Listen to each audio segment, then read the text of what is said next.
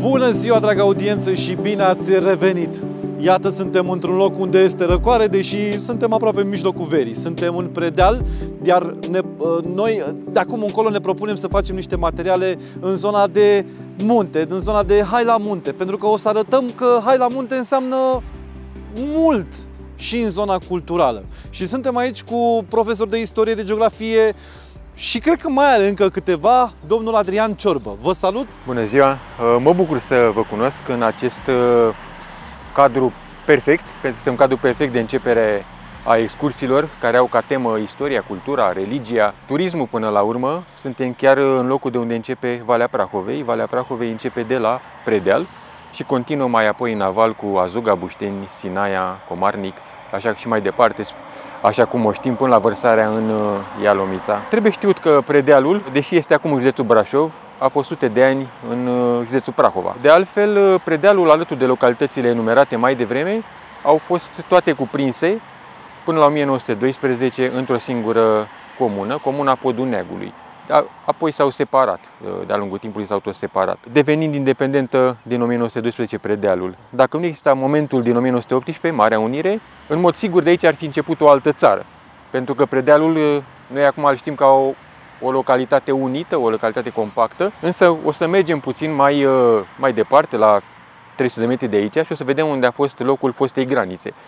Deci dacă noi nu am fi intrat, n-am fi făcut România mare, până la momentul aderării noastre la Uniunea Europeană, Uniunea Europeană ar fi început de aici, mai departe de noi, la 300 de metri. Ar fi început o altă țară, care nu știm cum s-ar fi numit dacă deznodământul primului război mondial ar fi fost altul. Alte chestii care ar trebui uh, cunoscute de cei care vizitează aceste localități, dincolo de aglomerația din trafic sau uh, Castelul Peleș, ce mai cunoaște monumente așa în general, să știți că dincolo de toate acestea sunt povești absolut fascinante care te invită la cunoaștere și altfel, la pas în principal. Cunoașterea se face la pas pentru că aceste povești le avem uh, scrise chiar de domnul Adrian în aceste cărți și vrem să vi le arătăm. Într-o mare măsură din ceea ce vom face noi o să luăm din aceste cărți. Da. Și avem așa. Prima carte este despre Predeal, este o monografie a Predealului, chiar dacă sunt subiectiv, este cea mai bună carte despre Predeal la ora actuală. Încă se păsează, deci este în 2016. Mai avem apoi uh, o carte adecvată turistului care vine în Valea Prahovei. Este un material la care noi am lucrat patru ani de zile. Nici o instituție a statului, la fel, nu vreau să fiu uh, lipsit de modestie, dar nu se poate face această carte de o instituție a statului în cel puțin un an de zile de acum înainte. Nu înseamnă că a interesat vreo instituție a statului, nu cei mai mulți cumpărători sunt din uh, afara Văii Prahovei, probabil datorită orgolelor personale sau a necunoașterii, a lipsei de educație, nu știu, dar cei mai mulți sunt uh, cumpărători ai acestei cărți, jurnalul de călătorie, care devine o carte personalizată pe măsură ce dai paginile, având uh, spații de completare. Vedeți, chiar și noi am uh, început să completăm la această, la această carte. Sunt note de călătorii adecvate fiecărui uh, episod în parte. Se merge după un cod QR la obiectivele mai puțin cunoscute. De exemplu, uitați aici la Timișul de, de jos, este o clădire în care au stat prizonieri americani. Oriunde răsfoim sunt mici episoade care sunt însoțite de note de călătorie unde putem trece noi uh, cu cine mergem, data și alte chestii care le surprindem. Până vom parcurge acest uh, jurnal de călătorie pe care îl vom personaliza, cred că durează o lună, două, depinde de uh, interesul nostru și de distanța la care ne aflăm de Valea Prahovei. Iar la final sunt câteva pagini goale, acestea, pe care noi putem lipi un bilet de călătorie, un bilet de telecabină, un autograf de la o personalitate, la un primar, depinde pe cine întâlnim. Iată că zona aceasta, după ce răsfoiești cartea asta, devine o adevărată enciclopedie, mai mică evident. Aici mai avem un uh, mic manual de descoperire la pas, se referă la cel mai vechi loc religios din Valea Prahovei, este undeva ascuns în pădure.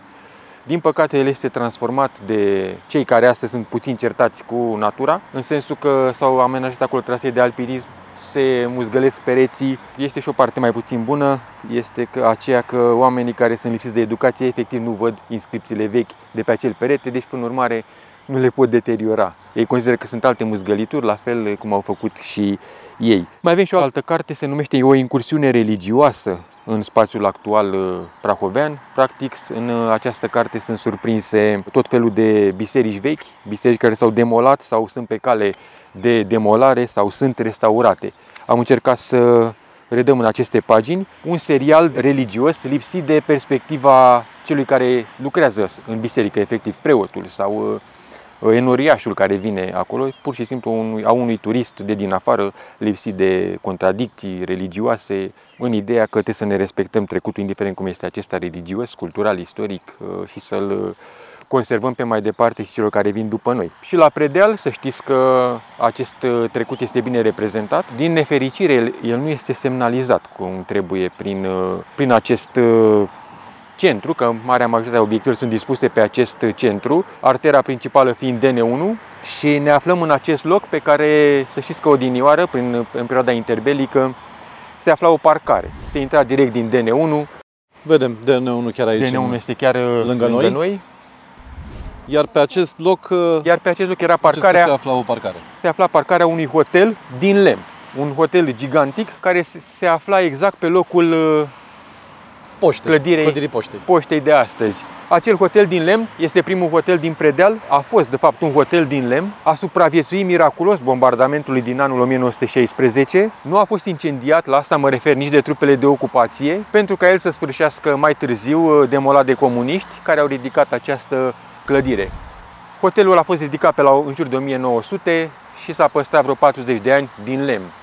A fost o clădire emblematică, este primul hotel cu denumirea de predeal din istoria acestei stațiuni, după care au mai apărut și alte hoteluri cu această denumire de-a lungul timpului. De asemenea, undeva în dreapta mea, unde se vede acel parc de copii, chiar mai încolo, se afla un alt hotel, tot la drum, îi se spunea hotelul Joița. Nu mai este niciun, uh, nicio dovadă, niciun semn că acolo a fost un hotel, este doar un teren viran. Vedeți așadar că dacă nu păstrăm istoria în anumite pagini, în anumite vederi, scrieri istorice, ea se pierde. Tocmai de aceea noi am spus de la bun început și am arătat aceste cărți pentru că o parte din istorie sunt în aceste cărți și iarăși aceeași parte de istorie, dar probabil la un, uh, un nivel mai mic o să o arătăm noi în aceste documentare. Da, mai vreau să subliniez faptul că aceste cărți nu au o componentă neapărat comercială, adică nu au avut o componentă comercială. Ele au fost mai mult rezultatele unor cercetări personale pe care am dorit să nu se piardă. Nu vreau să par de asemenea subiectiv, dar niciodată eu și cei care m-au ajutat la aceste cărți nu ne vom uh, scoate cheltuielile pe care le-am uh, avut cu scrierea acestor cărți. Acestea sunt uh, imense, ne-au luat ani din viață, nu le-am făcut pentru aprecierea cuiva, le-am făcut pur și simplu ca să rămână deoarece contează doar ceea ce rămâne. Asta contează. Haideți să mergem puțin să vă arăt acel monument. Vreau să vă arăt acel monument care este în parc. La Revoluția din 1989, Predealul a fost un oraș uh, martir, nu în sensul că s-au dat lupte exact aici, dar oameni din Predeal au murit uh, în Brașov. Până de Revoluția din 1989, la Brașov au participat uh, pentru apărarea unor instituții mulți predeleni, care erau atunci înregimentați în instituțiile de forță ale statului, militari la vânătorii de munte și aici este un uh, monument uh, ridicat în amintirea comandorului Chifor Ioan. El era predelean, dar uh, locuia în Bușteni și a sublocotenentului Lepădatu Gheorghe, care lucra la poliție. Clădirea poliției este chiar lângă noi și vom trece pe lângă ea. Acest Lepădatu Gheorghe, sublocotenent, mergea spre Brașov când a fost ucis de o salvă, autorii fiind necunoscuți. Iar comandorul Chifor Ioan este subiectul unui uh, reportaj controversat, cred că au fost mult mai multe reportaje. El a fost doborât uh, cu o rachetă deasupra localității Vișina, în județul Dâmbovița, pe când pleca la Belgrad să aducă sânge. S-a spus că a fost uh, o doborâre intenționată deoarece la bord se aflau niște jurnaliști străini care au filmat mai multe momente sensibile ale Revoluției, practic adevărul despre Revoluție și atunci s-a lansat acea rachetă pentru a fi doborât avionul. Din uh, cercetările mele a reieșit faptul că comandorul Chifor Ioan, care este mormântat la Bușteni, în cimitirul uh, eroilor de la Bușteni, a fost născut în Dobrogea, în Tulcea, undeva în satul Vișina, iar uh, o coincidență a destinului stranii a făcut ca el să moară tot într-o localitate Vișina. Acolo a fost doborât. Mai este un monument dedicat celor care au murit la Revoluție, în curtea poliției, și alte două la unitatea militară a vânătorilor de munte de pe Valea Rejnoavei. Circa 17 militari au murit uh, sau au fost răniți de la vânătorii de munte în luptele de la Brașov. Deci iată că, deși în Predeal nu s-au dat lupte, uh, au fost uh, alte incidente care i-au făcut pe predeleni să participe. Plătim prețul suprem pentru libertatea noastră a tuturor. Suntem lângă clădirea Vămii Românești, îi spune vamă românească pentru că evident avea și echivalentul ei, vama ungurească, undeva mai în față, dincolo de acel pod. Dincolo de acel pod, evident, uh, începea o altă țară, cum am zis mai la început, începea o țară care se numea Austro-Ungaria. La pod, pod de... care este peste un râu? Peste un pârâu care... Pârâu. Pârâu, da. Care se numea pe atunci pârâul frontierei și la capătul ei, în partea românească aici, era o barieră. Foarte important de reținut este faptul că această barieră, barieră poate fi văzută fizic, nu doar în vederile păstrate de-a lungul timpului, ci ea este păstrată și bine conservată la Muzeul Militar uh, Ferdinand I din București. Cum spuneam, suntem lângă clădirea Vămii Românești, ridicată în 1883.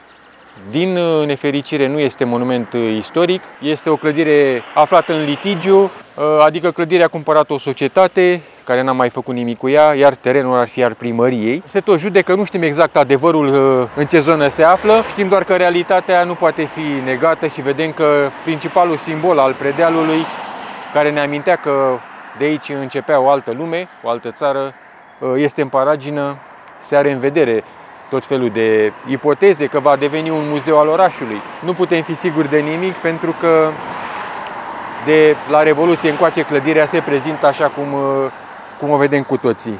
La inaugurarea ei din 1883 a participat însuși ă, regele Carol I.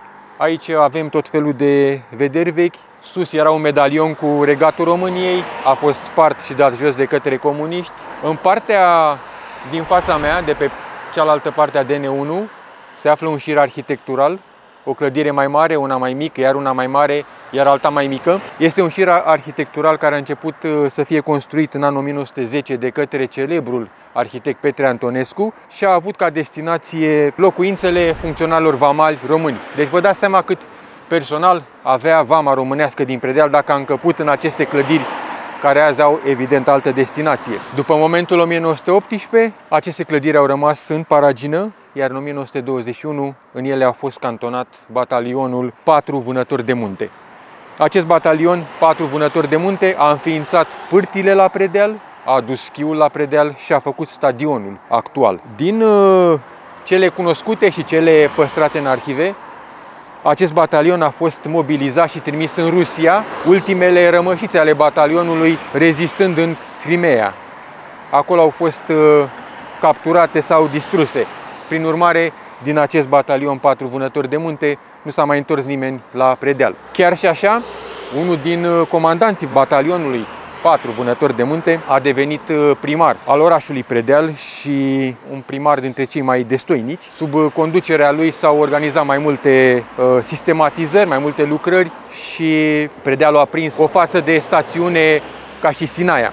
Pentru că să știți că această Valea Prahovei are în componența ei Predealul, avem Azuga, avem Bușteniul, cu cartierul cel mare Poiana Țapului, avem Sinaia și mai apoi Comarnicul Posada.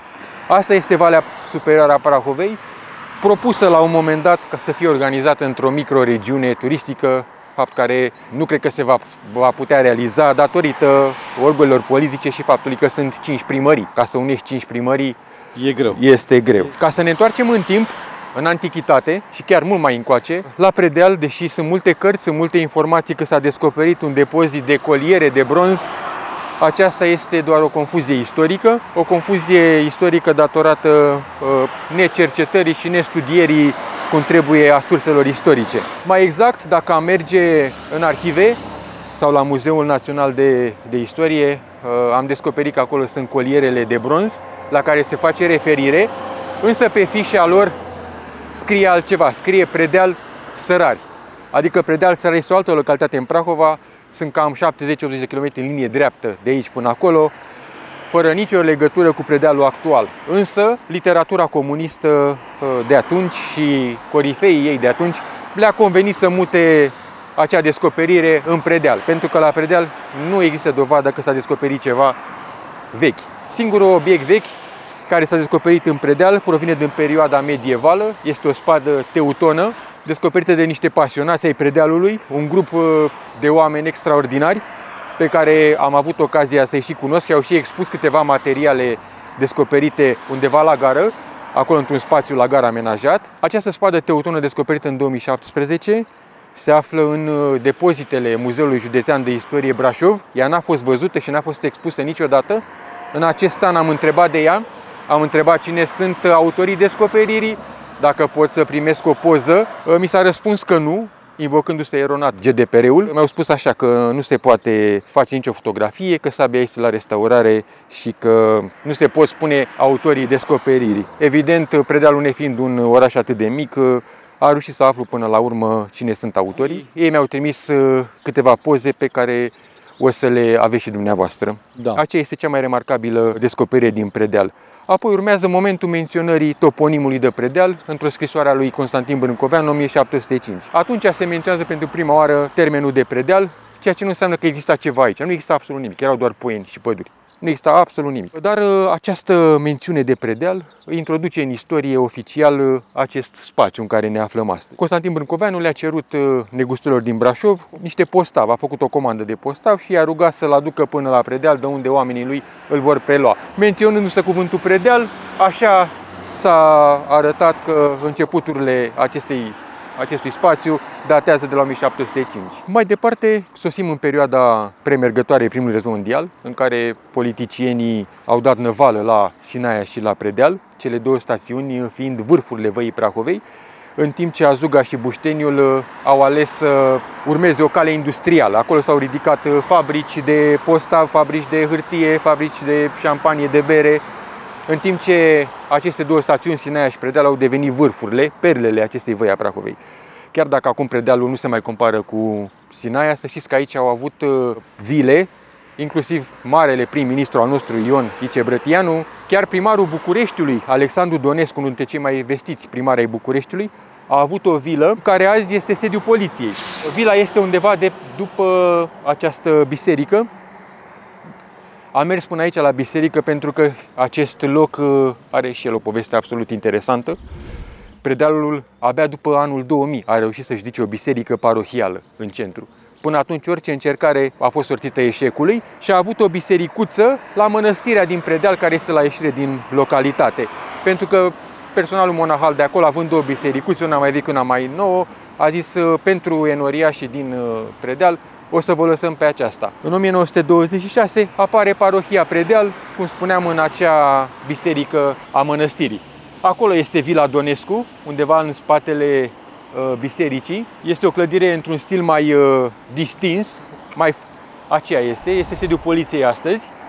O să mergem până acolo, iar această biserică pe care o vedem foarte frumoasă și destul de înaltă este ridicată recent, cum ziceam, după anul 2000. În acest loc, Alexandru Donescu, primarul care avea vila, care o, care o vedem acolo în față, a interzis ridicarea unei biserici, pentru că Enoria și evident au vrut să facă aici uh, biserică, motivând că el nu vrea să audă toată ziua cum îi se trag clopotele în cap. De asemenea, marele jurnalist Elian Popescu avea o vilă aici. S-a cerut de către Enoriaș venitul pe o zi al uh, ziarului pentru biserică și el i-a dat afară pe aceea. Ironia este că la 50, 60, 70 de ani distanță de decesul uh, primarului Alexandru Donescu, primarul Bucureștiului care avea vila de mai din fața noastră, și care evident conducea și Asociația Orașelor din România, deci era un primar celebru, s-a ridicat această biserică exact lângă vila lui, ca o consecință ciudată a destinului. Iar uh, în curte, lângă semnul acela de stop, undeva spre stânga, da, se află dreptul bradului. un alt monument ridicat uh,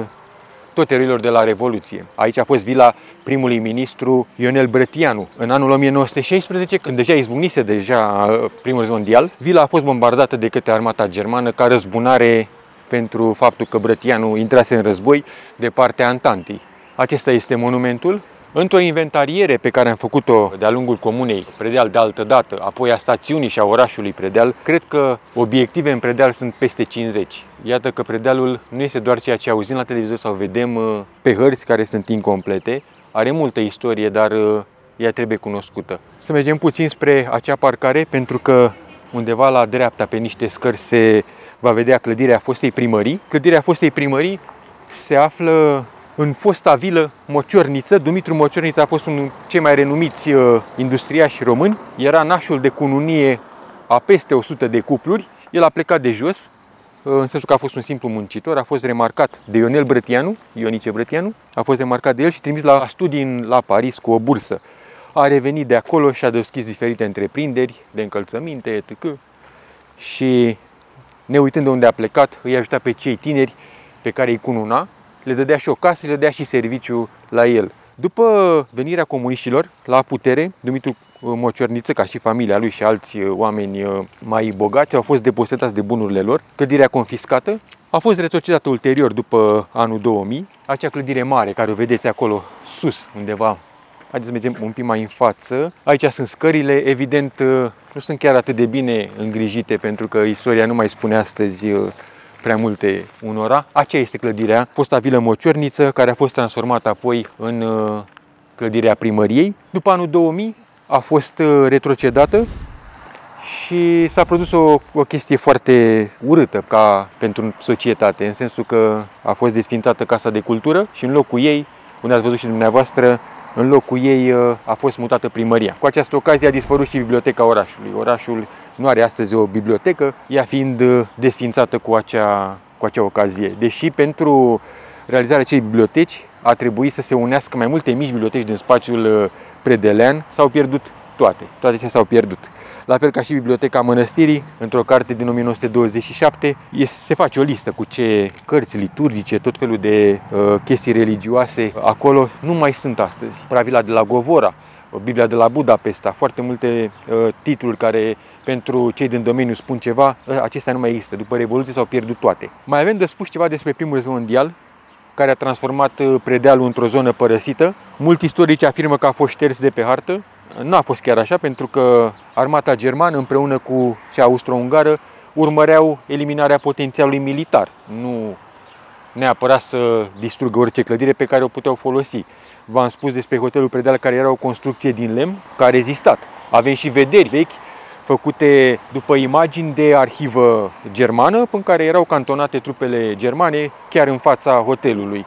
Deci ei au, au încercat în primul rând să ocupe predealul nedistrugând uh, infrastructura. În uh, 1916, timp de două luni de zile cât a durat bătălia pentru predeal, au murit 20.000 de soldați din ambele armate. Deși nu este ca și cea de la Mărăș-Mărășești, prin amplitudine și prin jertfa făcută, aici le-a depășit uh, pe acele, acele lupte. Da, haideți să traversăm pentru că ajungem în spațiul gării, o redută o redută românească în primul război mondial în anul 1916. În această zonă, în această zonă a gării s-au desfășurat uh, lupte ale ultimei rezistențe românești în predeal. Eroi unde sunt înmormântați? Chiar aici, în cimitirul... Din acești 20.000 uh, de soldați da. din mai multe armate care au murit uh, la predeal, marea lor majoritate au rămas pe poziții, prin păduri. Circa 1400 de oseminte de eroi se află într-un cimitir aflat pe serpentinele care coboară spre Brașov iar uh, restul, uh, v-am spus, au rămas uh, prin păduri, puțini au fost aduși, apoi înhumați în cimitire adecvate. Deci vă dați seama că aici, aici se bombardau continuu. A fost ceva, o luptă care este descrisă într-o carte foarte bine, îi spune Epopeea Predealului. Haideți să filmăm puțin acest monument care reprezintă o scenă din luptele care s-au desfășurat aici la Predeal. Puțin se uită la acest bazorelief. Bazorelieful este redat după o scenă, este redată după o scenă care se desfășura la gara din Predeal. Gara din Predeal care azi nu mai există. Gara care există astăzi este a treia gara a Predealului. Prima gara a Predealului a fost undeva în partea cealaltă. O să mergem și acolo și o să vă arăt despre ce e vorba. Uitați uh, cât de bine au fost reprezentate scenele. Aici este gara, în partea asta este un deal, este vorba de dealul acela, de Cioplea. Deci ultimii soldați români, împreună cu muncitori, cu ceferiști, cu populația locală, au opus o rezistență aici, foarte bine reprezentată în acest uh, monument.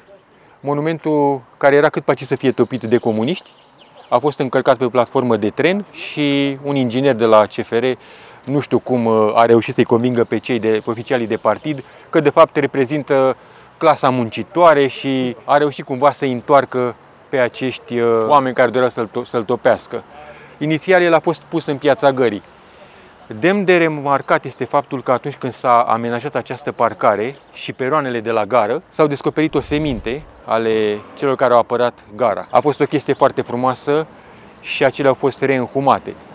Foarte puțini dintre cei care vin la predeal și așteaptă trenul și de multe ori uh, au ore întârzieri, cum s-a anunțat mai devreme, cunosc faptul că sub, pe sub peron trece Prahova. Deci Prahova a fost uh, canalizată din zona stadionului și trecută prin conducte care prin fața gării, pe superon, se duc mai departe și ies undeva în zona Pârtiei și a liceului uh, din Predeal. Acolo este Prahova, deși izvoarele ei sunt chiar aici la stadion. Tot lângă stadion sunt uh, niște clădiri în care se află pompierii astăzi. De fapt, acele clădiri nu au fost construite de români, ci de către austro-ungari. Acolo era cazarma honvezilor, cei care păzeau granița ungară. Nici clădirea vămii uh, maghiare nu se mai păstrează, a fost demolată tot în perioada comunistă. Ați văzut că această clădire românească, deși avem șansa să o mai avem, acest, acest martor istoric îl mai avem, e ceva fabulos să ai o, o vamă, o clădire a vămii românești în mijlocul țării, că noi suntem în mijlocul țării. Deci, uh, din păcate, nu este conștientizat de instituții, nu neapărat predele de nicio instituție, de importanța acelei clădiri. Deci vă spuneam că prima gară, aceasta este a treia gară. Prima gară din uh, Predeal se află undeva în stânga, se afla undeva aici în stânga noastră, a fost demolată, iar ulterior uh, s-a ridicat o construcție din lemn, i-au zis gară provizorie. Acest provizorat, ca într-o poveste tristă, a durat 30 de ani. Exact aici unde se spațiul acesta verde a fost uh, a doua clădire a gării din Predeal. Vedeți că nu mai găsim nicio urmă, nu mai este niciun panou care să semnalizeze acest lucru. Dar probabil că mai sunt poze. Mai sunt poze și mai este undeva un element care ne arată că aici a fost uh, prima gară. De asemenea, nu mai spune nimănui nimic acel element, o să vi-l arăt uh, imediat. Suntem, uh, dacă ne oprim puțin aici și ne uităm, vedeți că vine strada așa, vine perpendicular pe noi. Exact aici unde suntem noi, ne aflam în centrul primei gări. Toată gara din Predeal era înspre stânga și înspre dreapta, lumea venea aici central, de aceea este gândită această alee spre noi, iar de unde filmăm trecea Prahova, era un pod. Deci toată apa a fost canalizată, podul a fost astupat și curge pe superoane. Acum, puțin știu. Iată că avem atâtea povești aici la Predeal, încât uh, am putea vorbi despre ele zile întregi. Doar dacă ne-am referit la bătălia pentru Predeal și la faptul că de undeva, din partea cealaltă unde sunt bucegii, se trăgeau cu tunurile spre Predeal ca să bombardăm pozițiile inamice, deoarece am încercat să câștigăm prin înălțime faptul că nu aveau tunurile o putere atât de mare ca cele germane. De exemplu, germanii trăgeau de la Timișul de sus și ar fi putut, dacă ar fi dorit, să bombardeze inclusiv Peleșul, dar nu și-au dorit acest lucru. În schimb, noi când am uh, adus tunurile la predeal, la capătul predealului și am deschis focul spre trupele germane și austro-ungare care înaintau despre Timișul de sus spre predeal. Printre primele lovituri de tun a fost uh, și o eroare, ca să zic așa, care arăta uh, calitatea tunurilor noastre noi am incendiat biserica catolică de la Timișul de, de sus. Evident, accidental, că nimeni nu vrea să incendieze o biserică.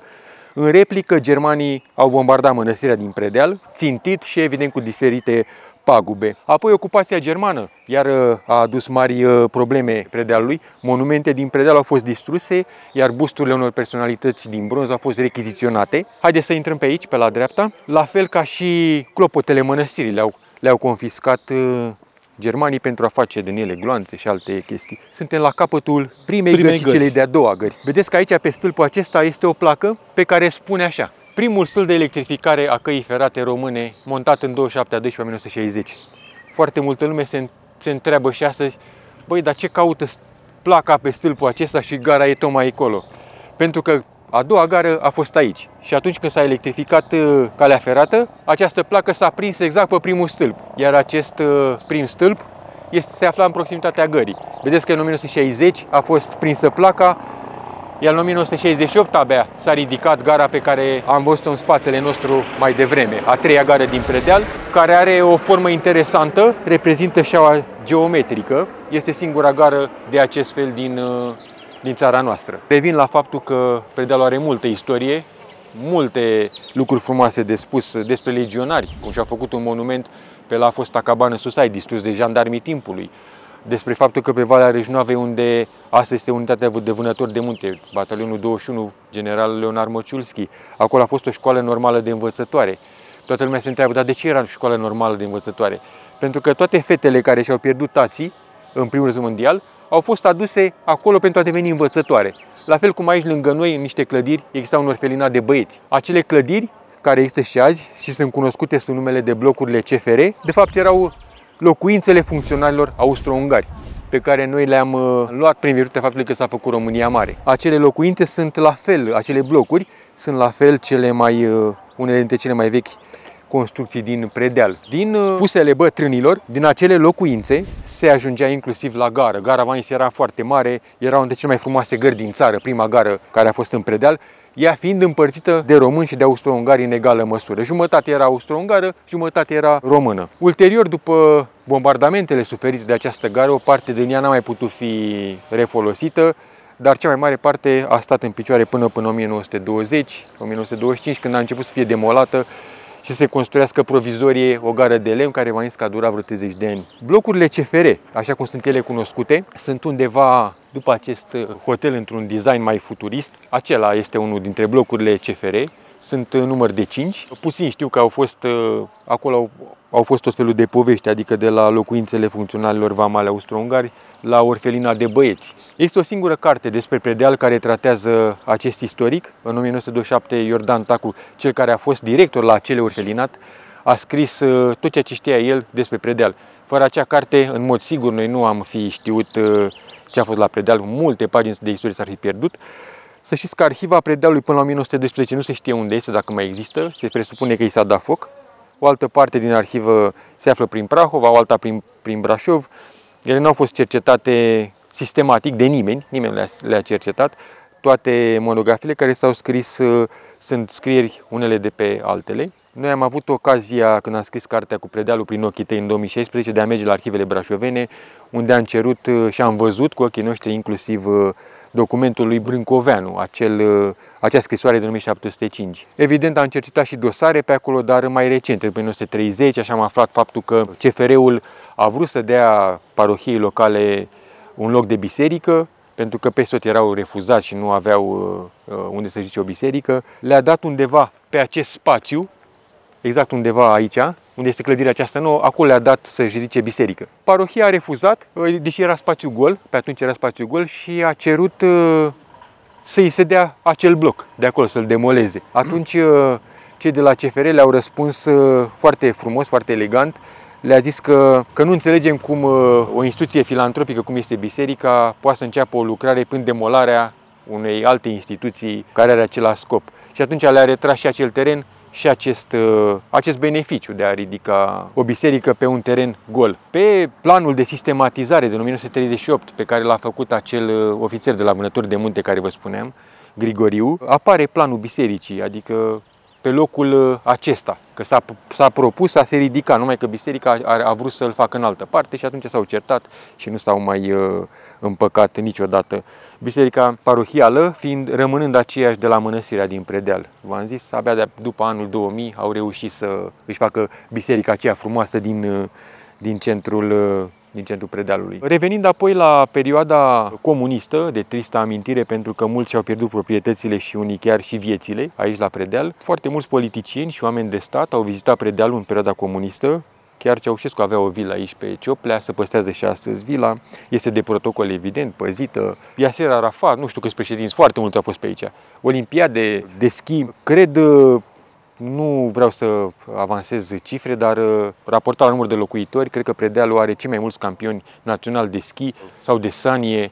Cred că s-ar putea face doar uh, un muzeu doar cu aceștia. Sunt foarte mulți. Cred că unul din 3-4 predeleni are acasă titluri sau medalii. Sunt ex- extraordinar de mulți. Eu ca profesor mă întâlnesc cu părinți, mă întâlnesc cu elevi și aproape aproape oricine are în casă o medalie sau un trofeu de la bunicul, de la tata, de la nu știu cine care a participat la competiții de schi. Predealul prin aceste competiții ar putea încă ține vârful uh, acestui sport în România și printr-un muzeu, dacă am găsit o clădire adecvată, și înțelegere, adică totul trebuie să plece de la cineva de sus care să dea acest semnal, să împrumute de la predeleni anumite obiecte, că nu, nu-și dă nimeni trofeele din familie, dar pentru a fi expuse să le împrumute ca să vedem că la Predeal este și altă poveste a schiului. Vedeți că la un moment dat spuneam că sunt peste 50 de monumente prin Predeal. Ele nu sunt semnalizate, asta este cea mai mare problemă. De exemplu, acest spațiu gol pe care îl vedem aici a fost a doua gară.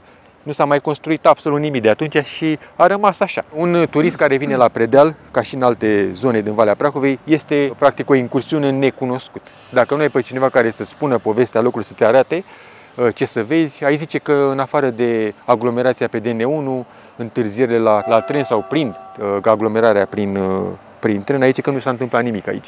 Și tot, totuși, uh, vă dați seama, suntem într-un spațiu în care aici au murit 20.000 de oameni, doar la predeal, nu mai zicem și mai uh, în locurile de mai jos, care fiecare au alte povești, dar la fel de, de interesante pe care am încercat să le cuprind în acel jurnal de călătorie pe scurt, pentru că oamenii în ziua de azi sunt în viteză, nu mai citesc, dacă sunt mai mult de 3-4 rânduri le citesc uh, superficial, scapă esențialul și atunci uh, prin descoperire am încercat și turiști și elevi și pasionați să descopere într-un alt mod această vale a Prahovei care este foarte interesantă. Ea este mediatizată ca destinație turistică, dar dacă te duce la târgu de, târgurile de turism cu un alt uh, mesaj și cu, alt, cu alte perspective de vizitare, cred că am vedea altă lume în Valea Prahovei, nu celebrii care se claxonează, se ies din uh, mașini, aruncă gunoaie pe... ar vedea o altă față. La fel este și cu Bucegii, acest uh, parc natural întins pe 300 de kilometri. Avem acolo, vă dați seama, tranșee, avem uh, locurile de unde s-a tras cu tunurile spre predeal, avem la vârful omul, la celebru vârf omul, care ajung atâția oameni și își propun să ajungă acolo, o stâncă uriașă, iar dacă te uiți, am fost într-o cercetare până anul 2014, că am aflat că vârful omului era păzit de un batalion românesc, m-am gândit, zic, băi, nu erau cabane atunci, unde stăteau oamenii aceștia? Oamenii aceștia în noiembrie 1916 stăteau în aer liber, la minus cine știe ce temperaturi uh, negative. Cu... Și m-am gândit așa, zic, băi, dar ei de fric stăteau doar așa, n-are cum să ne existe vreo urmă pe acolo. Și ei, bine, acești oameni și-au scris uh, unii dintre ei numele pe stâncă, le-au gravat, le-au săpat în stâncă. Scrie armata a doua, uh, sunt nume, uh, câteodată 27 noiembrie, 11 noiembrie. Sunt, sunt multe chestii frumoase pentru că peste care trecem așa superficial, din cauza că cei care ar fi trebuit să facă ceea ce trebuie cu istoria noastră, să o păstrăm, să o conservăm, să o mai departe, nu știu să facă acest lucru și mai rău de atât nu interesează, pentru că obiectivele în ziua de astăzi au devenit cu totul altele. Nu știu, să mă mențin la putere. Vedeți că uh, au fost înlocuite valorile, nu înseamnă exact. că suntem noi cei mai valoroși oameni sau cei mai mari susținători, dar putem face o mică comparație între ceea ce se întâmpla în trecut și ceea ce se întâmplă în prezent, că istoria asta face, ne aduce în prezent ceea ce s-a întâmplat în trecut, în așa fel încât dacă știm, nu l-am repeta și am avea un viitor mult mai deschis. Să știți că sunt elevi cu care merg în prim predeal, așa să le mai arăt unele chestii, elevi care nu toți au aplecare spre istorie sau spre studiu sau spre carte și rămân, uh, sunt foarte liniștiți când aud ce s-a întâmplat la predeal și își dau seama că ceva se tezește în ei ca o responsabilitate așa, și la părinți la fel. Dar nu suntem mai mulți, nu suntem uh, uniți în același uh, ideal și pasionați și cetățeni și reprezentanți a unor instituții. De exemplu, la multe monumente din Valea Prahovei am observat de câțiva ani că se depun de ziua națională a României coroane cu panglici albe. Și de ce se depun acestea? Pentru că se caută a se achiziționa o coroană de la firmele mortoare, unde sunt mai ieftine, și atunci se depune așa, se înlocuiește doar scrisul. Atunci noi nu avem cum să depunem coroane cu panglici mortoare la o zi de sărbătoare națională, cum e ziua când ne-am unit cu toții. Asta arată înțelegerea unor instituții. Am făcut permanent uh, sesizări, reclamații, s-au îndeptat lucrurile în multe localități din această Valea Prahovei la cât un an, doi, trei, așa, mai apare câte unul care nu știe despre ce e vorba și ne trezim de 1 decembrie cu o coroană cu panglici mortoare. Pentru ei sunt doar coroane și contează doar bifarea evenimentului. Am evident uh, în cap permanent să le spun copiilor că așa ceva nu trebuie acceptat, trebuie condamnat, trebuie să le spunem, băi, nu e bine. Uh, de ce nu e bine? Uitați de ce? Pentru că noi sărbătorim ceva, nu jelim ceva. Deci România mare uh, s-a făcut până sacrificiile atâtor milioane de oameni și trebuie să ne amintim cu bucurie de ei, nu transformăm ziua națională într-un moment de doliu. Vedeți niște elevi din spate care tocmai au trecut, este un elev la fel de care vă spuneam, nu este el foarte interesat de istorie, dar este foarte liniștit când îl introduci în acest cadru și îl responsabilizezi un pic și îl faci părtaș la istoria care îi aparține și lui. Și urmele care sunt la tot pasul prin pedeal ne aparțin tuturor.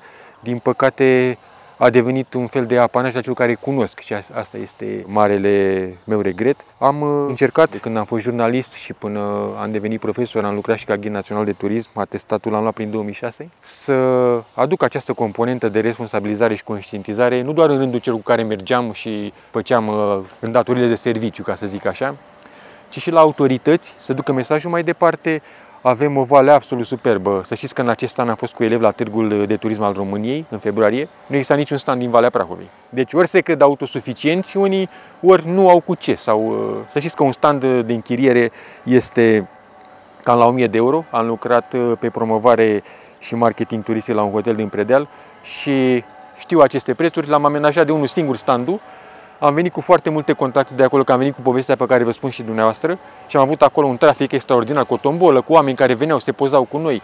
Uh, am adus vederi vechi cu predealul. Povesteam și oamenii, apoi am avut treabă un an de zile doar uh, din, acest, din această promovare. Sau... Acest, acest eveniment. Vă dați seama, la, întins la o scară foarte mare, cu primari interesați, cu oameni de afaceri interesați. Noi am face din Valea asta ceva, o destinație absolut uh, superbă, nu cu gropi, nu cu... Mai este mult până departe, v-am zis acest lucru... Dar poate puțin, nu mult.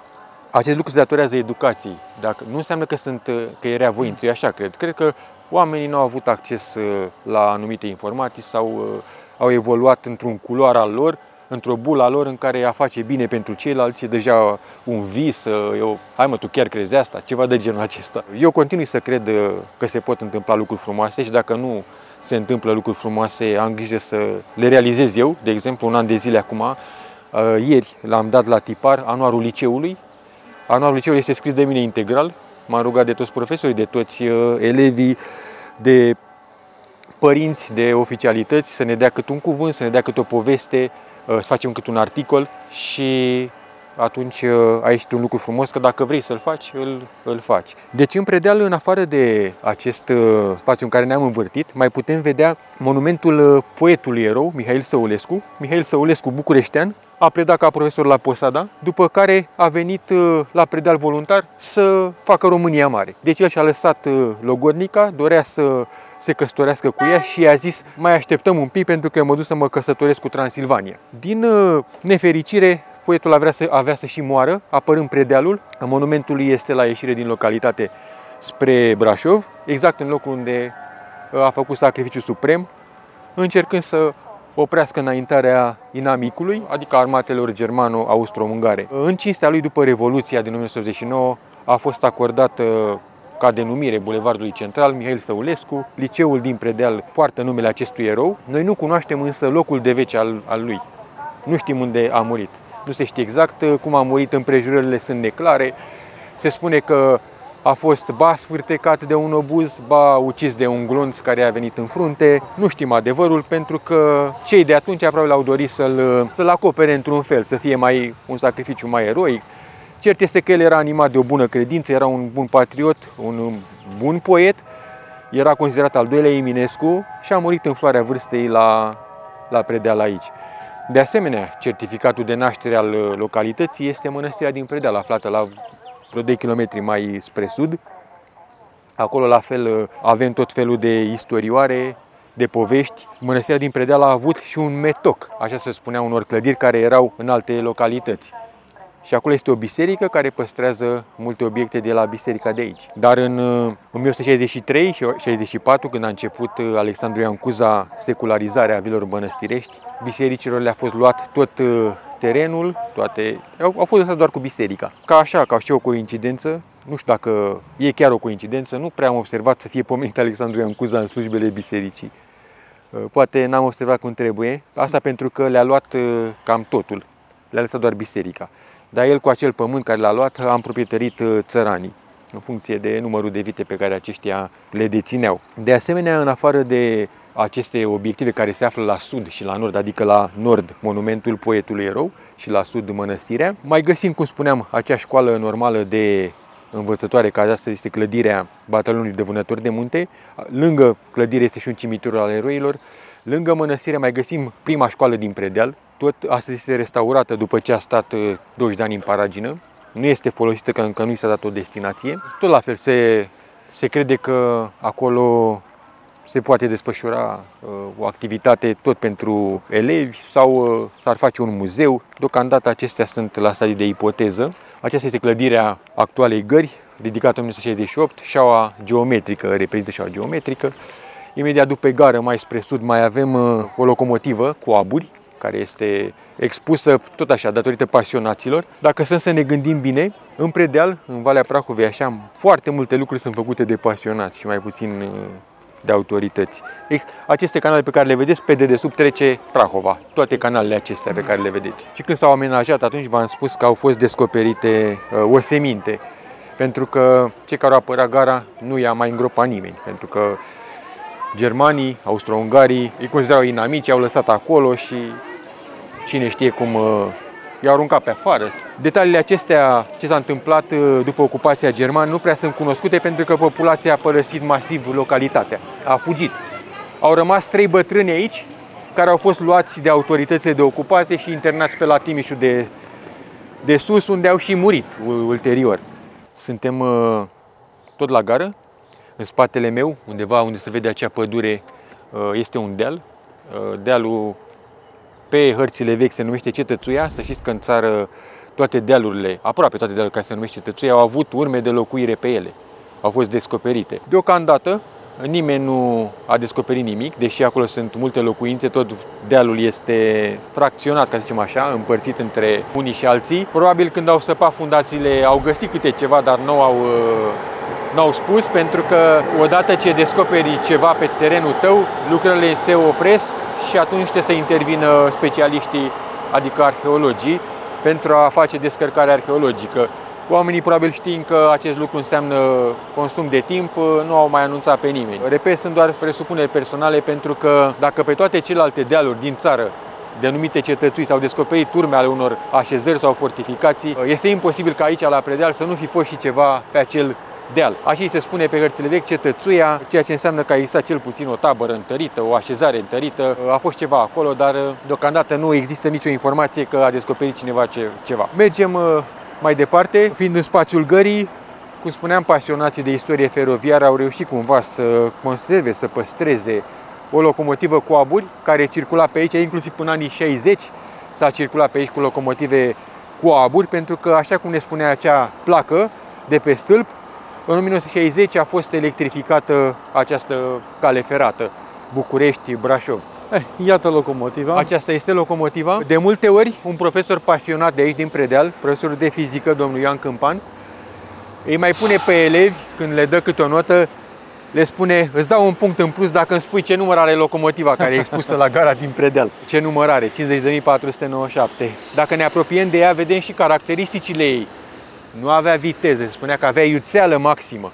Da, din fericire au existat pasionați, pasionați care au păstrat aceste locomotive. Multe am înțeles că mai au fost duse la fier vechi, altele au fost uh, lăsate abandonate în diferite depouri. Iată că la Predeal, ca și la Brașov și la Sinaia, sunt expuse lângă gări locomotive din alte timpuri, ca să zicem așa. Unii, evident că le văd din altă perspectivă, dar din perspectiva noastră a iubitorilor de călătorii, de, de istorie, de turism, pentru noi înseamnă ceva. Chiar dacă, vedeți, fiind expuse aceea, nu le-a mai îngrijit nimeni de ani de zile, că rugina a început să curgă, Deja vedem și niște plante. Niște plante au început să crească. Ele rămân nu doar ca expresii ale trecutului, ci și ca expresii ale prezentului, că exact. vedem ce timpuri uh, trăim este chiar aproape de locul unde sunt uh, șefii de gară. Sunt uh, multe lucruri de făcut în, uh, și în Predeal și în toată Valea spre Prahovei, deși noi ne mândrim cu Sinaia. Sinaia a luat o, o cale ascendentă, s-a dus mult departe față de celelalte stațiuni surori și asta prin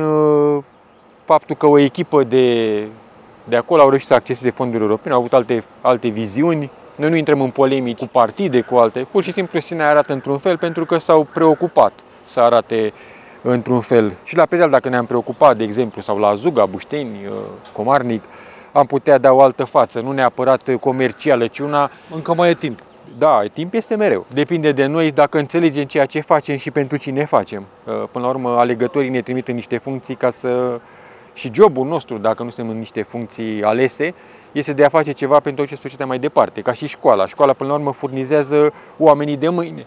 Dar uh, în afară de cunoștințe, trebuie să cultivăm unei și valori, că degeaba știe la perfecțiune matematică, istorie, dacă nu știe să le aplice, la ce ne folosește istoria. Ok, știu foarte bine istoria uh, României, dar uh, nu fac nimic pentru locul în care trăiesc sau pentru țara în care uh, locuiesc. În ce sens? Uh, că mulți se gândesc la satisfacția materială. Ok, satisfacția materială este prioritară pentru fiecare, să ne îndeplinim acele nevoi. Dar, la un moment dat, prin inteligența noastră, atingem acele, acei parametri de unde putem face și altceva pentru ceilalți. Că trăim uh, unii pentru ceilalți și această țară trebuie dusă mai departe. Nu o ducem noi, nu o ducem, uh, n-are ce să o ducă altcineva. Alții străini n-au cum să o ducă. O să trecem prin parcarea unui hotel pentru a ajunge în fostul parc al orașului, un parc uh, pe care o să vă las uh, imagini, vederi, da. din perioada interbelică. O să ziceți că nu e aici, e la Sinaia, e ceva fabulos. Deci, uh, dacă am stat să ne gândim așa, predealul arată, arăta înainte mai bine decât arată acum. Deci, acel parc pe care o să-l vedeți, o să vă o să ziceți, băi, dar nu e parc aici. Și totuși acolo a fost un parc și imaginile care s-au păstrat arată pe ce vârf stătea predealul atunci, vârf turistic și uh, ce bine era organizat și de aceea era preferat de către politicieni. Adică Sinaia și predealul, cum am zis, au fost preferate de bogătași, de, poli- de politicieni, de diplomați. Au fost pentru că erau și altfel organizate. Așa au fost gândite aceste stațiuni.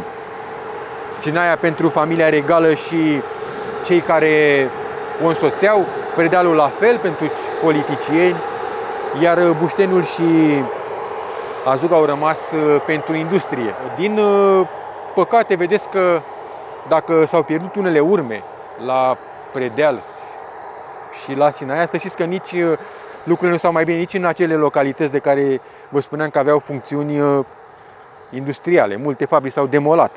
Fabrica de, din Bușteni, ridicată până în 1989, cu utilaje unice în lume, a fost demolată după 2000 și toate acele utilaje duse la fier vechi ca și cum era o simplă, un simplu fier. Toate acele mașinării vechi au fost uh, casate, duse la fier vechi, când puteai face doar un muzeu al, uh, al hârtiei, de exemplu. Haideți să trecem pe aici prin uh, această parcare. În față, noi nu vrem să-i facem reclamă, dar acolo a fost clădirea care se numea Casino Ofițerilor. A fost un restaurant celebru, chiar în stânga lui, unde sunt acei copăcei uscați și acea linie verde de tuia și molizi, acolo a fost parcul orașului.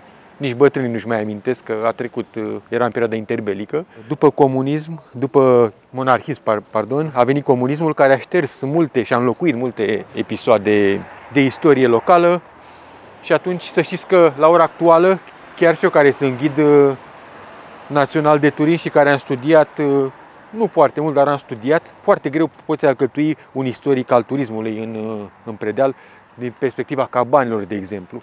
Unele cabane nu se știe când s-au construit, nu mai știe nimeni nimic. Și sunt multe pagini uh, de istorie falsă, cum vă spuneam, cu acele coliere descoperite la predeal. De fapt, ele s-au descoperit în altă parte. Apoi, la arhivele au fost duse au fost risipite sau distruse. Da, o să mergem mai jos ca să trecem pe la o trecere de pietoni, da? să revenim aici în parc și să ne îndreptăm apoi spre mănăstire. Suntem uh, tot în centrul predealului, aproape de singura casă construită în stil tradițional montan. Este singura construcție care se mai păstrează și care amintește de cum se construia odinioară la începutul secolului XIX, aici 20, uh, în perioada acestor, acestui secol, 1919, secolul XIX, 1920. Din 200 de ani așa s-a construit la predeal. Este singura construcție care se mai păstrează. Toate casele vechi din centrul predealului, începând de la 1800-1920, au fost demolate și înlocuite cu construcții mai vechi. Am propus-o într-o scrisoare către Direcția de Cultură și către primărie să fie cumpărată de la proprietar și să fie conservată. Direcția de Cultură Județeană Brașov uh, mi-a propus uh, că să vină la predeal să o vadă și apoi să vadă ce demersuri se pot face. De la primărie n-am primit niciun uh, răspuns, nu este prima oară. Probabil că nu au suficienți uh, bani pentru a cumpăra uh, ceea ce este istorie și de patrimoniu pentru predeal. Evident, nu este monument istoric, ceea ce înseamnă că proprietarul este degrevat de orice sarcină, poate să demoleze mâine, poimine, însă apelând la bunăvoința lui, la interesul autorităților, se poate păstra acest simbol al predealului, atât cât mai stă el în picioare și conserva pe viitor. V-am spus, pe cale de un kilometru de la monumentul lui Săulescu și până la liceul din uh, Predeal, nu mai găsim o altă casă construită într-un astfel de stil tradițional. În jos, pe la Comarnic, aici acolo pe la uh, ieșire din Predeal, mai găsim astfel de construcții. La calculul meu, cel care trăiește aici în Valea Prahovei, o astfel de casă dispare anual, cel puțin o astfel de casă dispare anual din peisaj, fiind demolată. Fiind demolată pentru a se ridica altceva, fiind evident mai nou, mai ieftin, adică e mai ușor să ridici ceva nou peste, decât să întreții ceva vechi. Însă, cu această ocazie vreau să vă reamintesc ce spunea Winston Churchill atunci când a fost, i s-a propus să taie de către lorzii din Parlament, i s-a propus să taie de la cultură, de la educație, să taie ca să facă anumite reduceri. El a spus și atunci pentru ce mai luptăm? Deci el n-a vrut să taie din bugetele de la cultură, de la educație, în schimb noi, astăzi în democrație, la 70 ceva de ani distanță de atunci, nu reușim să facem uh, mare lucru pentru a ne conserva patrimoniul, aceasta fiind o obligație a noastră morală, nu neapărat uh, existând în fișa postului, că nu te obligă nimeni să, să păstezi istoria, te obligă nimeni, practic, faci ceea ce cunoști sau ce ai promis alegătorilor. Însă această casă de aici chiar ar merita cumpărată de autoritatea locală și transformată într-un, uh, într-un muzeu. Într-un local, muzeu, într-un punct de reper. Că, în... Da, sunt uh, tradiții locale. Sunt oameni care au păstrat în familie costume populare, i, acel spațiu, acea clădire. Este evident uh, un spațiu mic. Acolo n-ai ce să faci decât o expoziție, ceva care se refere la meșteșuguri locale care s-au pierdut.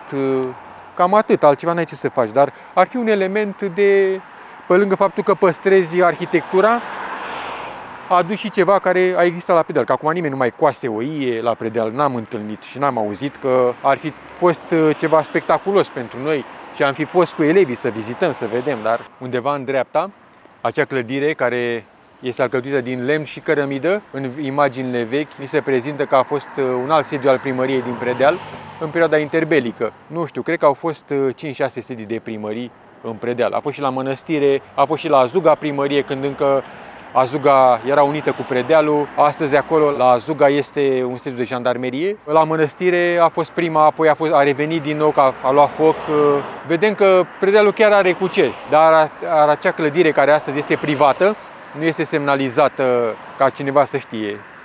Trecem pur și simplu pe lângă uh, locuri care poartă povești minunate, dar dacă nu sunt semnalizate, rămân doar așa pentru câțiva care le știu dintr-o întâmplare. Că dintr-o întâmplare am descoperit această clădire găsind o poză într-o arhivă. La arhiva Predealului care era păstrată la Brașov. Acolo am văzut că această clădire este, a fost primărie odată. Predealul uh, în ultimii ani am marșat pe amenajarea unor terenuri, unor spații ca fiind terenuri de sport. A fost o carte oarecum câștigătoare pentru că permanent la predeal sosesc echipe care vin în cantonament și așa făcându-le terenul acesta, terenul de la școală, sunt două terenuri la școală, făcându-le cum trebuie, sunt mai mereu închiriate. Cred că pentru oraș, ca activitate economică, înseamnă ceva. Da. Însă poate mult mai mult. Da, mult e mai puțin, mult. într-adevăr. Toate da. acestea trebuie integrate, adică ai plecat din uh, hotel să știi ce ai de făcut. De ce vin la Predeal? Vin doar pentru aer și să dorm într-o cameră sau să mănânc într-un restaurant? Pot face mult mai multe, în așa fel încât un sejur la, la Predeal sau nu doar la Predeal, în Valea Prahovei să devină mult mai atractiv. Odată cu parcurgele acelei cărți, jurnal de călătorie, îți dai seama că e imensă Valea Prahovei. Eu după ce am scris acea carte cu jurnalul de călătorie și am trecut și eu să completez și eu, că mai merg ba cu elev, ba cu cineva, mi-am dat seama că îmi va lua o lună de zile cel puțin să bifez toate acele obiective la care am lucrat vreo patru ani. Dar nu am Vin făcut foarte multe, da. Nu am făcut acest lucru pentru un ego personal, pentru a mi se aduce laude, pentru a face o afacere, pur și simplu trebuiau făcute. Am avut acest nu știu, Dumnezeu mi-a pus chestia asta în cap, că altfel nu îmi dau seama de a fi totodată modest și la locul meu, că cineva trebuia să facă lucrul acesta, cineva trebuie să apuc ce de el. Fără să fac paradă de televiziune, să mă duc cu vânzări, să facem nu știu ce expoziții, să bat la ușa la nu știu câți. Efectiv le-am la cunoștință apariția acestei cărți. La unii le-am trimis gratuit, așa cât un exemplar, chiar dacă toate sunt scoase din salariul meu, nu sunt uh, pe vreo firmă sau nu știu ce. Vă dați seama, eu la scara mea minimă, mică, ca individ în societate, dacă pot face un lucru ca acesta, vă dați seama o instituție câte lucruri ar putea face. Aici, Sau aici... dacă s-ar aduna mai mulți oameni. Da. Iarăși, că da. dacă stăm după instituții... Exact aici unde suntem acum, în stânga noastră se află fostul parc al orașului, vedeți că undeva în dreapta dumneavoastră, dincolo de acea motocicletă, este o stradă. Pe acolo trecea DN1 înainte. Și exact aici unde suntem noi era aleea parcului. Însă, în perioada până în 1940 și apoi ulterior uh, au trasat acest uh, Deci, practic, acum DN1 trece prin parc. Trece prin parc, da, ca să fie mai drept. Aici era parcul orașului, o să vedeți vederi, o să ziceți că nu e adevărat. Haideți să pășim puțin prin, uh, prin iarbă, pentru că nimic din ce este acum nu mai amintește de aleile frumoase de odinioară, de băncile monumentale de piatră, pentru că la 40 de ani de la venirea lui Carol în țară s-a simțit nevoia organizării unor momente speciale dedicate acestui uh, eveniment, că Carol I este ctitorul practic României moderne și s-au făcut o fel de bănci monumentale din piatră, alei, exact acolo unde este acel, acea mică movilă, era un chioșc de muzică. Dacă mergem aici se, și păst- se mai văd uh, treptele, haideți să le vedeți puțin. Probabil că și unii copaci sunt uh, tot de pe De acea atunci, vreme. Da, erau copaci foarte mici, atunci puși ornamental, astăzi au devenit uh, arbori în toată regula. Armetare făcut parcul și acest chioș de muzică. La Sinaia este un alt chioș de muzică la fel în parc care a fost refăcut. La Predeal, uitați fundația. Fundația am uh, descoperit-o pe 11 septembrie 2015. Atunci am făcut prima corelare cu o imagine din trecut și mi-am dat seama, băi, acest uh, cerc, în mod sigur, era fundația chioșcului de muzică. Imediat am luat legătura cu primarul de atunci din Predeal. I-am spus și oral și am adresat și o scrisoare. Mi-au răspuns că vor avea în vedere pe viitor în refacerea. 2015? În 2015, da. Ok. Pe Nouă viitor. ani. Nu mai este dânsul primar, uh, dar oricum uh, cartea a ieșit, atunci a ieșit un mic studiu referitor la acest uh, chioș de muzică. Se văd uh, foarte clar treptele și aici cânta fanfara militară ca și la Sinaia. Erau angajate, ca așa se numea, uh, angajăm uh, fanfara batalionului nu știu care din localitatea nu știu de unde să cânte pe timpul vării la Predeal și la Sinaia. Și ei se suceau când colo, când colo. Oamenii aveau uh, și alte preocupări atunci. Acesta este mersul societății. Cine mai crede că într-un spațiu așa viran a fost un parc care era cel mai frumos de pe Valea Prahovei după cel de la Sinaia, care a fost amenajat de un specialist în uh, acest domeniu, iar undeva dincolo de liziera aceea de copaci se afla monumentul lui V. Urechea, ministrul învățământului. Vasile Alexandrescu Urechea a fost uh, unul dintre ctitorii învățământului pe Valea Prahovei. I s-a ridicat pentru cât, uh, câte a făcut el un bust exact după acea lizieră. Bustul a fost uh, rechiziționat de armata germană în 1916. A fost inaugurat bustul în 1908, după 8 ani mai târziu s-a terminat. L-au luat, au rămas doar fundația, care și aia a fost demolată ulterior. Spațiul în care ne aflăm aici în uh, Predeal, deși acum este mult verde și multe clădiri noi, practic nimic nu mai amintește de fosta localitate de graniță de altă dată și de faptul că aici se construia într-un alt stil. Minuscula căsuță pe care am filmat-o noi. Cea foste primării. Da, da. Și aceasta de Da. A, patrimoniu. și aceasta care e cea mai veche. Au rămas mici insule pierdute în acest uh, ora- ocean al modernismului. În rest, uh, avem norocul că s-a tuns iarba pe aici, că altfel n-am fi putut intra. Mai putem uh, vorbi și despre alte lucruri despre Predeal. S-au încercat și de către primari, de către oameni de afaceri să se revigoreze turismul. La un moment dat uh, au prins niște fonduri, după care s-au pierdut. A rămas uh, tot orașul concentrat pe pârtie, pe sporturile de iarnă, însă vedeți că încălzirea globală ne afectează și iarnă și strat de zăpadă nu mai este atât de consistent și nu se mai păstrează. Da, bine, decât se două poate luni. acum artificial.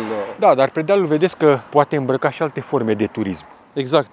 Există și acest turism uh, cultural, Da, putem spune. completat cu o promovare a sporturilor de vară, mountain bike, nu știu, drumeții.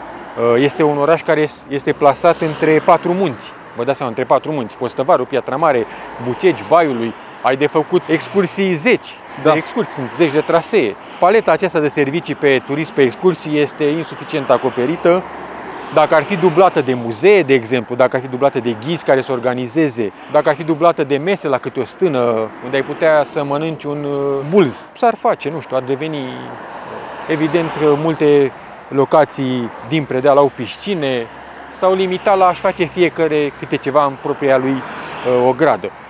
Noi stăm bine ca Predeal, mă refer la Predeal, în domeniul culinar, că avem o unitate turistică foarte renumită, la care vine lumea aici numai pentru ea. Deci, Așa. uh, parcările pe care le, le am trecut pe lângă ele și le-am văzut pline sunt cu cetățeni care tranzitează orașul Așa. sau vin special să mănânce Unde? la acel hotel. Îl putem pronunța? Bineînțeles. Este chiar la acela, Hotel Dragului. Acolo. Da, acela este. E Hotelul Dragului. Imediat după benzinărie, acolo are și o, o terasă. Și turismul în Predeal, așa ca ghid, eu vă spun chestia asta, oamenii vin în Predeal, în principal pentru a mânca la Hotelul Dragului. Iarna, evident că vin pentru a schia, dar acum, la acest moment, pe cine vedeți pe aici, pe acolo parcat, au venit, Au cu venit toți- să mănânce au venit acolo. să mănânce la Hotelul Dragului, unitatea etalon a, a Predealului. Mai sunt și alte hoteluri de tradiție, de renume, aici în Predeal, trecem pe lângă ele, însă mai este mult. De exemplu, hotelul acesta mare de lângă noi este închis sediu BRD, acesta Adică e cel gigantic. uh, din stânga ta. Da, Da, este imens, într-adevăr. este imens și nefiind corespunzător administrat, este închis de vreo 10 ani. Cam așa. Dar uh, vederea de la balcoanele uh, acestui hotel și spre pârtie, spre munți, este unică. Da, Da, așa este- e. Vedem pârtia chiar aici, în Da. spatele nostru. Este de vânzare sau de închiriat. Deci pârtia e chiar în acea direcție. Da, da, vedeți și aglomerația aceasta îl face pe turist să-și piardă răbdarea. Mulți vin uh, cu tren. Drumurile au fost gândite pentru traficul de altă dată și acum sunt pe o singură bandă, circulă nu știu câte mașini. Am uh, monitorizat așa, am putut eu pentru mine un studiu mic să vedem uh, dacă e aglomerație doar pe DN1. Și anul trecut în vară, în același timp era aglomerație spre mare, pe DN1, pe Transfăgărășan și mai era, nu mai știu ce găsisem, era aglomerație în așa. Deci sunt foarte multe mașini în țară la noi și Da, drumurile și sunt oamenii se foarte plimbă mici. acum. Ar fi putut, uh, pentru că geografia nu ne minte, am fi putut uh, crea și alte căi alternative de, de trafic între Muntenia și Transilvania, adică e ocolim Valea Prahovei. Chiar dacă s-ar fi adus uh, prejudicii mediului sau uh, s-ar interveni oarecum agresiv în natură. În fața unei hărți ne-am dat seama că dacă s-ar face o o șosea alternativă pe Valea Doftanei care se iasă la Săcele, pe Valea Azugii care se iasă tot la Săcele. Valea Azugii este interconectată cu Predealul printr-un drum forestier, dar nu mai este chiar așa de bine folosit. De asemenea, de la Bușteni se poate trece spre Râșnov, dacă s-ar face mai e o bretea de câțiva kilometri. S-ar putea face în locul la acea autostradă care e prognozată a se ridica peste, nu știu, 20 de ani, eu știu când se va... Un drum de ăsta prin pădure, așa, s-ar fi putut face. Adică și-ai descongestiona acest uh, trafic, care e doar pe o singură conductă, cum ar fi DN1. Da, deci centru, aici este un parc frumos amenajat de cei din administrația locală, că au făcut și ce au putut în măsura în care au înțeles ce trebuie făcut și fondurile care le-au avut la dispoziție. Aceea este Vila Mociorniță despre care am vorbit, în spatele ei. undeva Este unde dealul nu- cetățuia, de lui Cetățuia, dar și tot acolo mai se păstrează un colț din uh, Vila lui Brătianu care a fost bombardată, cum ziceam, și restaurată într-o, la o scară mult mai mică. Iar aici, în spatele acestui panou Infopoint, de aici în dreapta, Da, vedem o piatră? aici a fost hotelul, hotelul Joița, nu mai amintește nimic de el. Pe timpul lui Agaton s-a ridicat, ministrul al turismului, s-a ridicat acea construcție din metal, care este acolo dincolo de șosea. da, cea de vis-a-vis. Da, și a fost uh, centru de informare turistică. Astăzi este închis. Este un alt spațiu pentru centru de informare turistică. Este după acest, uh, scrie pe el România, este făcut în timpul lui Udrea, scrie România pe el, frunza parcă are, celebra frunză care a Da, așa adus este. atâtea discuții. Discuții. Elena Udrea a fost un ministru al turismului care a, a vrut să facă ceva. Bine intenționat, dar înconjurat de acel partid, uh, știți, era un partid uh, cu multe interese, a ieșit cu totul altceva. A dat gir unor proiecte care, de exemplu, au transformat Bucegii, s-a făcut o șosea asfaltată până în inima uh, muntelui și care se termină acolo. Nu e ceva un obiectiv la capătul drumului. Te-ai oprit și atât. Până la Piatra Rar să te mai duci pe jos sau pe un drum care nu este bine conturat, cu găuri în el, cu... sau pe jos până la Babele, că drumul de acolo este închis. A încercat să facă ceva, dar uh, eu zic că ține și de cunoașterea unor termeni de specialitate și a ceea ce înseamnă turism, ceea ce vrei să promovezi, că dacă vrei să promovezi chiciul și aceasta este, da, haideți și pe acolo, este Vila Donescu, Da, este cea vila despre actuală, care am discutat. da, vila actuală Da. în care se află sediul poliției. Vedeți, construcțiile vechi alternează cu construcții noi. Nu a existat o regulă de construire în, uh, în predeal, când nu știu dacă există. Da, foarte frumoase. În mod sigur, acele, acea balustradă din lemn, de atunci este, da, apare și în vederile vechi pe care să le vedeți. Da. Acel lemn, da, numai că el a fost revopsit mereu până în timpurile scorojit noastre. așa. Da, și în timpul ăsta n-a mai fost refăcut. Mergem puțin în dreapta pentru a vedea o altă vilă veche și acest uh, ne poate arăta că doar uh, ce e vechi e în paragină. Asta este oglinda a ceea ce gândim. Eu așa zic întotdeauna că faza cu istoria este simplă. Uitați aici o, clădire, o altă clădire veche. Da? E în paragină, evident, nu? Da.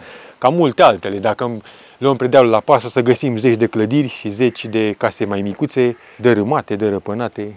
Altele sau cazuri fericite sau uh, ceva mai în față acolo sunt uh, acele două vile care sunt mai vechi, dar uh, ele au fost restaurate. Restaurate pentru că proprietarii din tată în fiu, din, na, din familie, au uh, conservat uh, și au dus mai departe locul în care au trăit înaintașilor. Sunt și exemple mici, dar uh, acelea, cum și ne arată că nu sunt, uh, nu totul este pierdut. Vă dați seama ce clădire frumoasă, uitați-vă cât de frumoasă e și a rămas așa. Iar după acele panouri ne dăm seama câte, câte familii locuiau aici sau până a fost retrocedată. Ne gândim că a fost retrocedată, că altfel nimeni nu ar fi părăsit o asemenea bijuterie.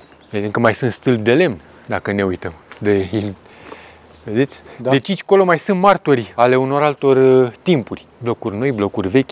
În imaginile de pe la 1900 apare localitatea Predeal, dar vilele erau la distanță una- unele de celelalte. Mare parte din uh, suprafață era deținută de familia regală.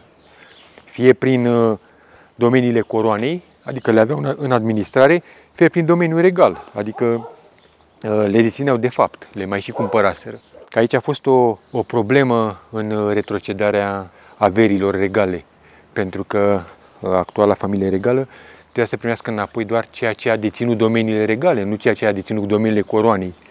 Că domeniile coroanei erau pra- practic proprietăți ale statului pe care le administra familia regală, casa regală, pentru un administrator. Da, vedeți, vechi, vechiul și nou. Aici chiar este o vilă veche, vedem, uh, uitați-vă la ușă, la fereastră, pe cealaltă parte sunt uh, blocuri făcute în perioada comunistă. Turistul are ce vedea, are ce vedea dacă vine la predeal, dar la pas, la pas și cu cineva care să-i spună, uitați o altă vilă emblematică, apare nu știu câte vederi. Uitați-vă cum arată. Vedeți? Da. Asta este oglinda a ceea ce gândim astăzi. Atâta putem, din păcate. De aceea noi încercăm periodic să le schimbăm uh, copiilor perspectiva. Adică nu totul uh, trebuie să, cum este acum, trebuie să rămână așa. Și prin ședințele cu părinții și prin uh, orele la clasă la fel. Uitați ce turnuri au gândit, vedeți că toate vilele au cât un turn. Astfel de vile nu le găsim la Bușteni sau la, la Sinaia. Pentru că, așa cum vă ziceam, ele au fost, uh, aceste stațiuni au avut alte destinații. Pentru cei mai uh, potențați, Sinaia și Predealul erau stațiunile ideale. Pentru ceilalți care doreau să muncească, să-și facă un viitor în, prin muncă, alegeau Bușteniu și Azuga fabricile de acolo.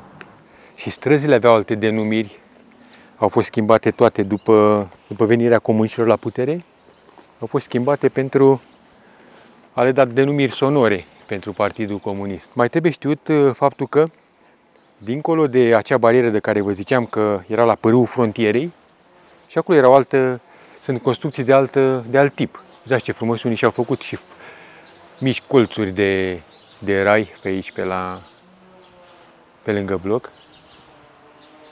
Deci este ceea ce știm cu toții că omul sfințește locul. Așa este. Vedeți, fiecare dacă ne-am face partea noastră de treabă, uh, cred că am face altceva. Mergând pe jos, surprinzi altfel realitatea. Din mașină totul decurge în viteză și atunci uh, nu mai e la fel. Uh, Multe lucruri îi scapă.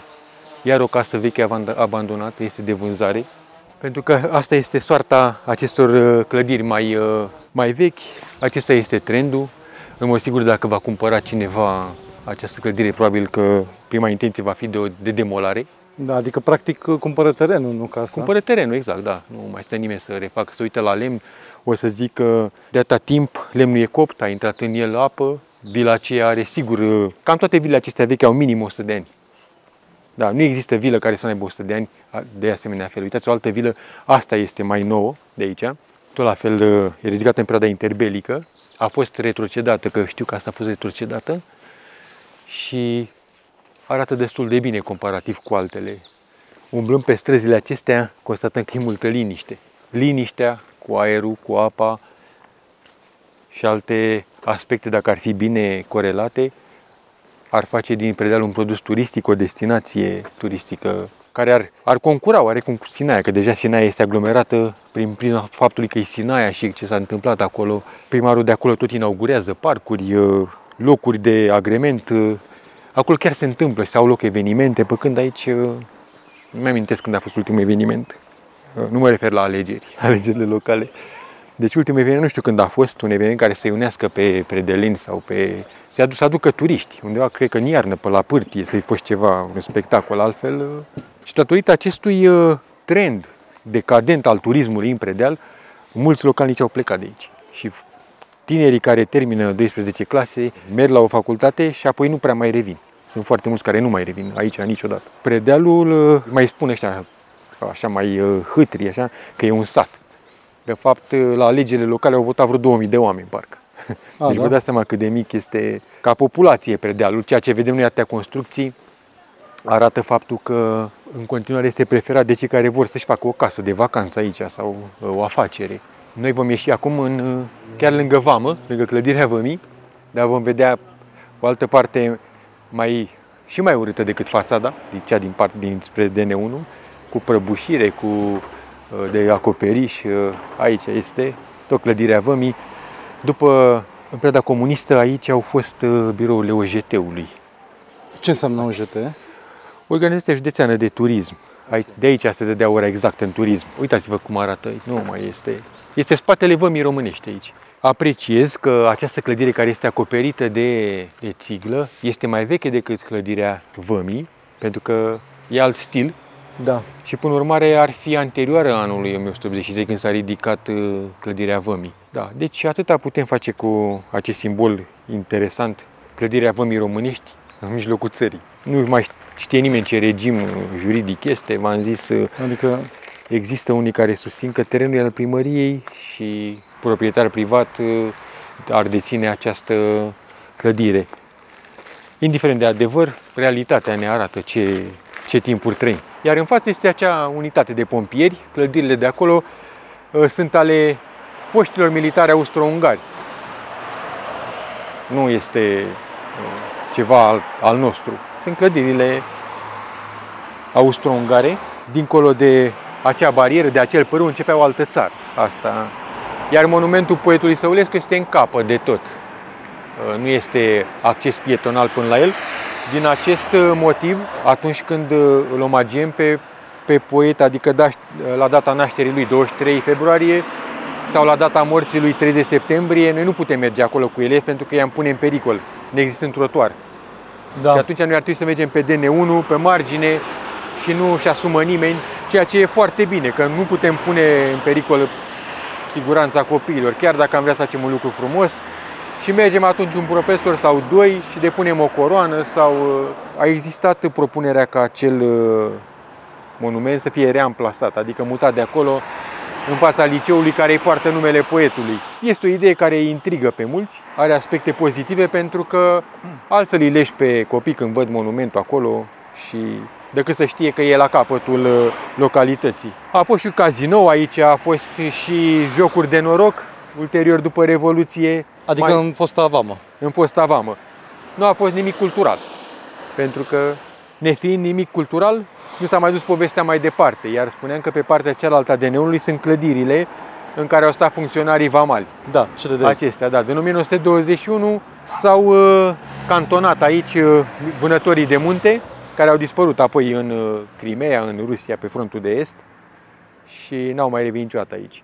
Undeva unde filmați acum acea clădire nouă, care a fost, uh, evident, clădirea veche a fost transformată, asta, clădirea aceasta, ea arăta exact ca acelea de acolo, cele de pe flancuri. Vedeți că este o clădire mare pe stânga, la capete și între ele câte o clădire mică. Așa a fost gândit de către Petre Antonescu acest șir uh, arhitectural deosebit, care a fost stricat prin faptul că a fost un pic, uh, să zicem așa, modernizată o clădire. În acea clădire din centru se afla comandamentul. Aceasta mare, da? Da. Ea arăta exact ca acelea de pe flancuri, doar un pic mai mare. I s-a schimbat un pic aspectul și atunci, bineînțeles că evident nu știa nimeni că Petre Antonescu, mare arhitect, a făcut el nu știu ce la Predeal. N-a interesat pe nimeni. Uh, nu e semnalizat nicăieri. Probabil și proprietarul, dacă ar fi știut, nu cred că s-ar fi apucat de modernizare și eu, chiar dacă ar fi știut, n-are nimeni cum să-l oblige. Pentru că ne fiind nimic uh, de patrimoniu, nimic uh, istoric, ci doar o poveste din trecut, chiar dacă e însoțită de acte, n-are nimeni ce, să, ce măsuri să ia. Aici sunt măsuri doar de bun simț. Câtă vreme nu este cineva interesat de păstrarea patrimoniului sau de declararea unor obiective ca monumente istorice, totul ține de bun simț. Dacă vreau să demolez, demolez, sau de interesul imediat, nu știu, vreau să eliberez terenul să-l vând. În uh, cele două clădiri care le vedem pe stânga, cea mai mare și cea mai mică, într-una este uh, dispensar, în alta este sediul ambulanței, Adică deci, cea mică cu acoperișul verde da. este cu sediul ambulanței. Și cealaltă un dispensar, un mic spital, așa să zicem. Acelea au fost clădiri mai vechi, care uh, cea din capăt și-a îndeplinit și astăzi rolul de unitate uh, de restaurant, să zicem. Restaurant a fost permanent, de prin perioada interbelică, sub de, diferite denumiri, evident. Vedem și pârtile pe fundal. Iată-le.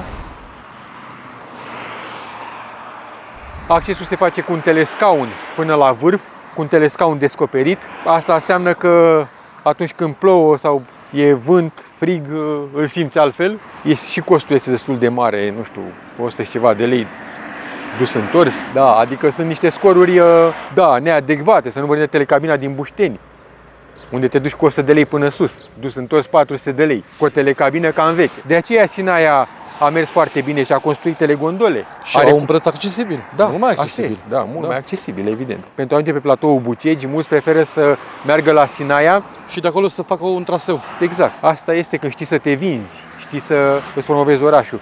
Pe stânga sunt acele blocuri CFR, ale, așa se numesc azi, blocuri CFR, dar ele au fost ale uh, căilor ferate maghiare, acestea, blocurile acestea, ridicate odată cu gara în 1979.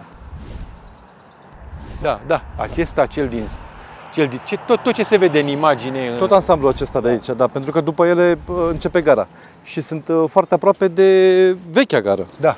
De Acestea sunt acele cinci blocuri? Da, acelea sunt, da. Că noi l-am văzut pe partea cealaltă unde unul a fost orfelinat. Iar la un moment dat, atât de mulți orfani erau în țară, că părinții și, și pierduseră evident în război, încât toate aceste blocuri uh, erau ocupate de orfani și într-unul din ele se făcea școală. Da, școala pentru ei. Da, școală pentru ei. Că și istoricul acesta al educației la Predeal este divers. Au fost în multe locuri școală.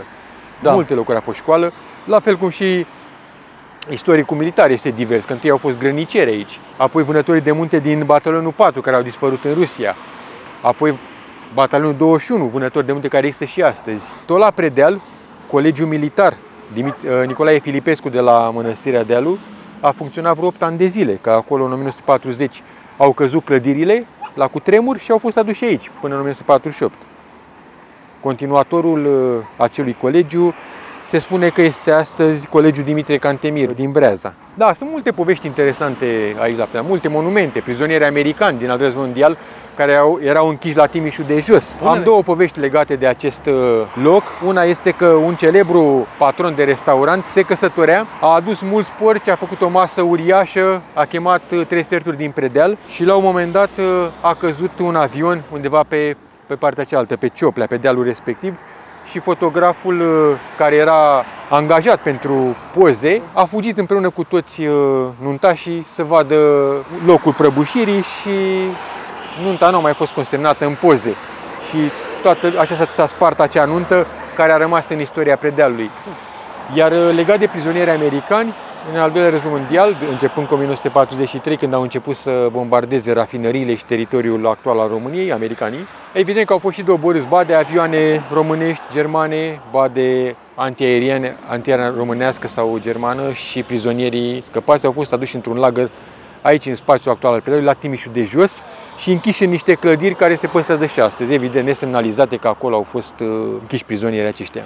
Ele, evident, uh, au rămas martori acelor povești și le cunosc localnici mai bătrâni, dar în rest, așa, ambasada americană mai știe despre aceste lucruri. Prizonierii americani au fost tratați și la Sinaia, în hotelul Păltiniș, care astăzi este închis. Unul dintre piloți a fost înmormântat la Sinaia după război după 1945. Au venit americanii și l-au excumat și l-au dus în, în America. A fost un cimitir, un cimitir de militari american la Poiana Țapului, cartier al Buștenului, un mare cimitir. Aveau vreo și ceva de americani morți acolo. La fel, nu se păstrează nicio urmă astăzi, pentru că americanii i-au luat pe toți după război, i-au scos din pământ, i-au dus înapoi la ei în, în America. Vedem că și noi avem în, în Rusia sute de mii de militari care au murit acolo. Nu i-a mai adus nimeni înapoi. Și iar când au încercat să îi mormânteze cât de cât așa omenește, creștinește, oasele care s-au mai găsit, li s-au permis de către ruși să folosească doar cutii de carton.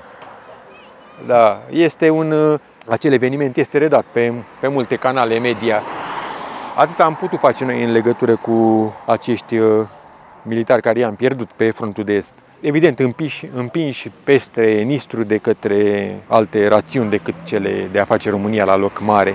Am putea să ne îndreptăm spre mănăstire, care spunea că este certificatul de naștere al uh, predealului. Acolo s-a ridicat uh, prima clădire cunoscută din predeal, un schit care a fost incendiat la 1788 și reclădit ulterior la 1819 și biserica de atunci se păstrează și acum. Aia este cea mai veche construcție din uh, predeal acea bisericuță care a fost uh, refăcută, dar uh, rare ori am văzut-o deschisă pentru vizitare. Suntem în spațiu în care s-a conturat uh, educația la Predeal. În spatele nostru se află clădirea primei școli din Predeal, cu toate că începuturile educației la Predeal sunt mult mai vechi, pe la 1864, aici lângă mănăstire, că suntem și lângă mănăstirea din Predeal, Sfântul Nicolae, s-a făcut prima oară carte, în sensul că starețul de atunci, Pantelimon Virginescu, într-o mică încăpere, ținea cursuri cu elevii din, uh, din, din Predeal.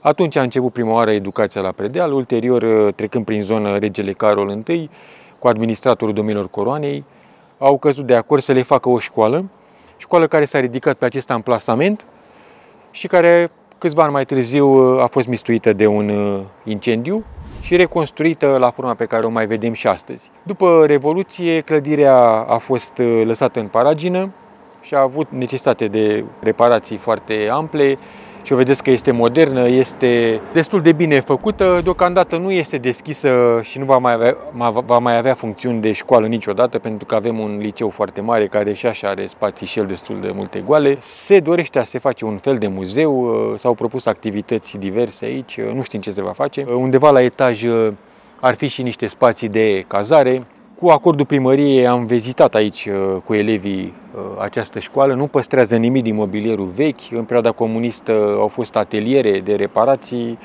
Aici uh, s-a făcut școală, în special profesională, nu ceva liceu sau ceva superior. Dar ne aflăm lângă o clădire care și-a început viața, ca să zic așa, pe la 1890, după care a continuat neîncetat până la momentul Revoluției, când a fost uh, abandonată. Uh, elevii care erau la liceu și la profesională în, uh, în centrul predealului veneau aici pentru ateliere practice, pentru meserii, confecționau covoare, diferite piese de mobilier pe care apoi școala le vindea. Avem tot felul de mărturii ale unor persoane mai în vârstă care au prins acele, acele timpuri. Tot lângă noi undeva în față se află Mănăstirea din Predeal, certificatul de naștere al localității, chiar filmăm chiar Clopotnița, ridicată pe la 1820. Vedeți că este turnul Clopotniței uh, este destul de bine păstrat și astăzi. Undeva pe acolo sunt niște inscripții. În chirilică, ele fac referire la, la starețul Ghenadie, cel care a și ridicat această clopotniță. Mănăstirea este ridicată mult uh, anterior, pe la 1777 se începea ridicarea uh, mănăstirii ca un mic schituleț care a fost incendiat în 1788 pe când uh, românii și aliați cu turcii se băteau cu austriecii. Luptele au continuat până la Predeal, dincolo de Predeal, pe la Timișul de Jos. Este un monument ridicat cu acea ocazie. Marchează o luptă acolo între armatele aliate și austrieci. Apoi pe la 1849 au fost alte lupte pe aici cu acea, cu acea uh, revoluție. Schitul s-a refăcut ulterior cu ajutorul celor din Săcele, în principal ciobani, Nu cred că este foarte bine studiat așa la școală acest aport pe care ciobanii și cei care patronau tot felul de turme de animale îl și aduceau în localitățile în care iernau. De exemplu, la Câmpie, să știți că este o localitate care se numește Săcele, în Dobrogea, exact localitate care poartă numele celor din Săcele de, de Brașov, acel care este municipiu astăzi. Municipiul Săcele a luat naștere prin unirea șapte sate, toate de păstori, aproape de păstori. În Săcele sunt, cred că, 20 ceva de biserici. Este un, un loc uh, religios care mereu m-a frapat, cum atâtea confesiuni, atâtea religii și-au găsit acolo loc în care fiecare trăiește liniștit cu biserica lui, fie că sunt catolici, luterani, ortodoxi, toți și-au găsit același spațiu și conviețuiesc în liniște. Dar spuneam că acest, acest schit, care o să intrăm înăuntru, biserica a fost ridicată în 1919 de către niște ciobani din Săcele. Interesant este că părinților ridicaseră primul schit care a fost incendiat uh, aici. Deci cumva exista o, o cutumă în familia lor și ei au dus mai departe ceea ce au făcut părinții. Nu prea se păstrează astfel de povești în, uh, în istoricul mănăstirilor, se pune accent mai mult pe ctitorii actuali care se doresc să fie zugrăviți unii dintre ei prin, uh, prin biserici. Haideți să intrăm puțin să vedem acest spațiu ortodox deosebit. Îl vedem mai sus pe Sfântul Nicolae, patronul acestui așezământ. El să știți că este și cel care îi protejează pe călători. În față este biserica din 1819. Uh, apropiind pe cupolă și vedem inscripția de atunci. Acolo sus, da? Da, acolo sus. Uh, ce s-a auzit este păun, un păun, da, au și o mică grădină zoologică așa. Înainte intrarea în biserică se făcea exact pe acolo, prin acest uh, chioșculeț, așa, ca să zicem. Ulterior s-a făcut uh, acea ușă. Deasupra este o icoană care are o poveste interesantă. Părintele este cel care, Părintele Teofil este cel care a dat viața acestui loc. Uh, toate erau în paragină. A creat altceva aici, un loc liniștit. Părintele a restaurat toate aceste biserici pe care le vedeți acum. S-a zbătut foarte mult și cu ajutorul unor enoriași a reușit să obțină avize, a reușit să restaureze clădirile emblematice pentru predeal. Arătau într-un fel uh, care nu făcea cinste stațiunii și nici uh, religiei pe care o împărtășim uh, astăzi. Că eu pot să vă spun că de prin 2007 tot am venit pe aici și am putut constata nivelul de degradare în care se aflau bisericile, fum în biserică, se aprindeau lumânările în biserică și atunci părintele a scos afară lumânărarul și toată lumea aprindea lumânările afară, a spălat pictura, au făcut destule chestii frumoase. Dar aceasta este biserica veche, vedeți, a păstrat uh, și îndrila, acoperișul a restaurat, arată altfel. Aici erau niște copaci care vedeți că erau putrezi, oricând puteau fi în pericol să cadă peste biserică. Oho, foarte mari. Da. Ei apar de la început de secol apar aici și a reușit să, cu alpiniști utilitari, să îi pună la orizontală și astfel încât să nu mai este pericol nici pe, pentru biserică, nici pentru cei care ar fi trecut pe aici. La o mică vigilie uh, se despriseră niște crini și atunci au reușit să convingă autoritățile, băi, trebuie tăiat acei copaci, că chiar dacă e, nu e ok tăiatul copacilor, uitați aici sus uh, Pisania, Uh, fiecare biserică are undeva deasupra intrării un, o mică zonă în care este scris cine a ctitorit-o și alte detalii de-a lungul timpului. Aici sunt uh, picturile de pe la 1800, vă dați seama de când s-a ridicat biserica și picturile originale. Vedeți că este scris în greacă. Uitați, uh, și foarte interesant, legea mântuirii istorice interzice scrierea pe pereții bisericii, din punct de vedere moral, este o profanare. Da, biserica veche este monument istoric. Predealul, deși are atâtea obiective, nu toate sunt uh, monumente istorice, dar monumentul de la gare care l-am filmat cu eroii, biserica aceasta și Clopotnița și monumentul lui poetului Mihail Săulescu. În rest, celelalte 40, câte mai sunt, nu au nicio, uh, niciun statut și de aceea se află și într-o, nici vama românească, clădirea vămii, de aceea sunt uh, într-o stare de degradare. Da, pictura a fost restaurată. Iată că biserica, acolo unde are oameni, face lucruri uh, mari. Uh, apropo de ce spuneam că în perioada interbelică cereau demolarea uh, orfelinatului. Omul face diferența oriunde, indiferent ce este preot, primar, uh, învățător, uh, muncitor, pasnic, orice. Omul face diferența. Părintele, uh, la scrierea acelei cărți, și care v-am arătat cu predealul, și părintele ne-a permis vizitarea, ne-a permis fotografierea în biserică. Chiar și dânsul are o, o lucrare de licență pe tema predealului și a mănăstirii. Da, am avut norocul de a găsi biserica deschisă este una dintre cele mai vechi biserici de pe Valea Prahovei, aceasta, cea de la Mănăstire de la Sinaia, cea de la Posada de la Schitulespes. Cam aceste trei sunt cele mai vechi din Valea Prahovei. Și am începe cu Posada, care este cea mai veche, 1661, Sinaia 1695 și aceasta 1819. Aceste trei biserici sunt uh, cele mai vechi din, uh, din Valea Prahovei. Povestea vedeți că este mult mai uh, amplă a văii superioarea Prahovei și Uh, ea surprinde și alte aspecte pe care nu le vedem la televizor sau în acele mici uh, tururi ghidate care le mai vedem. Dacă ocolim puțin biserica, o să vedem și alte lucruri. Iar această biserică din stânga este ridicată tot pe la 1940. Uh, nu arată că părintele și cei de aici au restaurat-o și au făcut-o la loc. Ea a fost din 1926 până după anul 2000 biserica parohială a localității. Aici se făceau slujbele, așa se explică și acest cimitir care l-am văzut noi din drum, care e destul de mare. Povestea acestui loc este destul de intrigantă, este destul de deranjantă. În acest spațiu, aici, prima oară a fost un cimitir de eroi români și germani, nu mai sunt aici, după care a fost un cimitir mare al uh, legionarilor executați de Carol uh, al II-lea, în urma asasinatelor pe care le-au comis, uh, Carol uh, al II-lea a luat decizia de a împușca mai mulți uh, legionari. Aceștia au fost aduși un an mai târziu, după execuție și mormântați aici la, la Predeal. Unii în urne, care le vedeți acolo, urne funerare, ele sunt goale toate. Cimitirul legionar de aici a fost distrus de comuniști. Ce vedeți, atât s-a mai păstrat. Nume, și numele lor care sunt acolo. În România Uh, este interzisă glorificarea legionarilor, considerați uh, a fi apart- că aparțineau uh, de aceeași ideologii ca fasciștii, ca naziștii. Aceste urme care sunt pe jos, cu cruci pe ele mici, sunt simbolurile legionarilor și ce au mai rămas din acel cimitir, osemintele fiind profanate, aruncate de către comuniști, neștiind exact unde sunt în acest loc.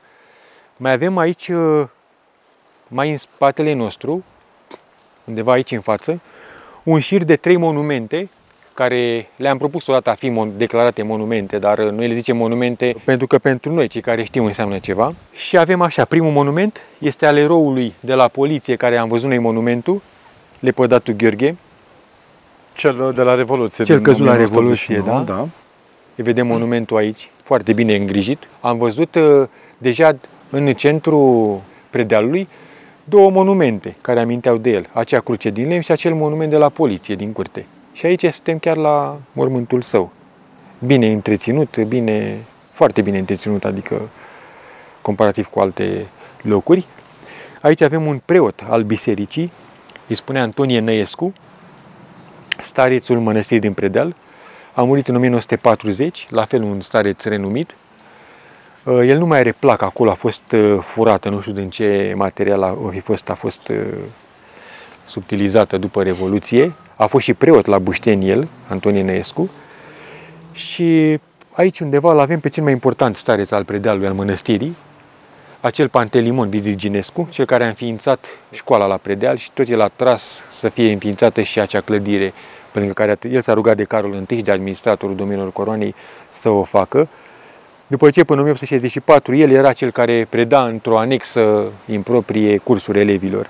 Deci uh, poveștile rămân la stadiu de povești în paginile de cărți, dar când confrunți realitatea vezi că acești oameni au existat și atunci uh, parcă ceva te trezește. Deci uite băi, totuși oamenii aceștia au existat și oare ce facem noi ca să îi păstrăm? Vorbim despre ei, cum îi păstrăm? Da, este ca un colț de rai acest, uh, acest loc. Evident, maicile de aici și părintele care le conduce Teofil, l-au făcut de o asemenea manieră. Da. Haideți să urcăm acele trepte, să vedem biserica da. nouă. Spuneam de această biserică, că este, se spune biserica nouă, deși ea e ridicată tot uh, în a doua jumătate a secolului al XIX-lea și de aceea icoană, vă spuneam, este o icoană care se vede că e din mozaic.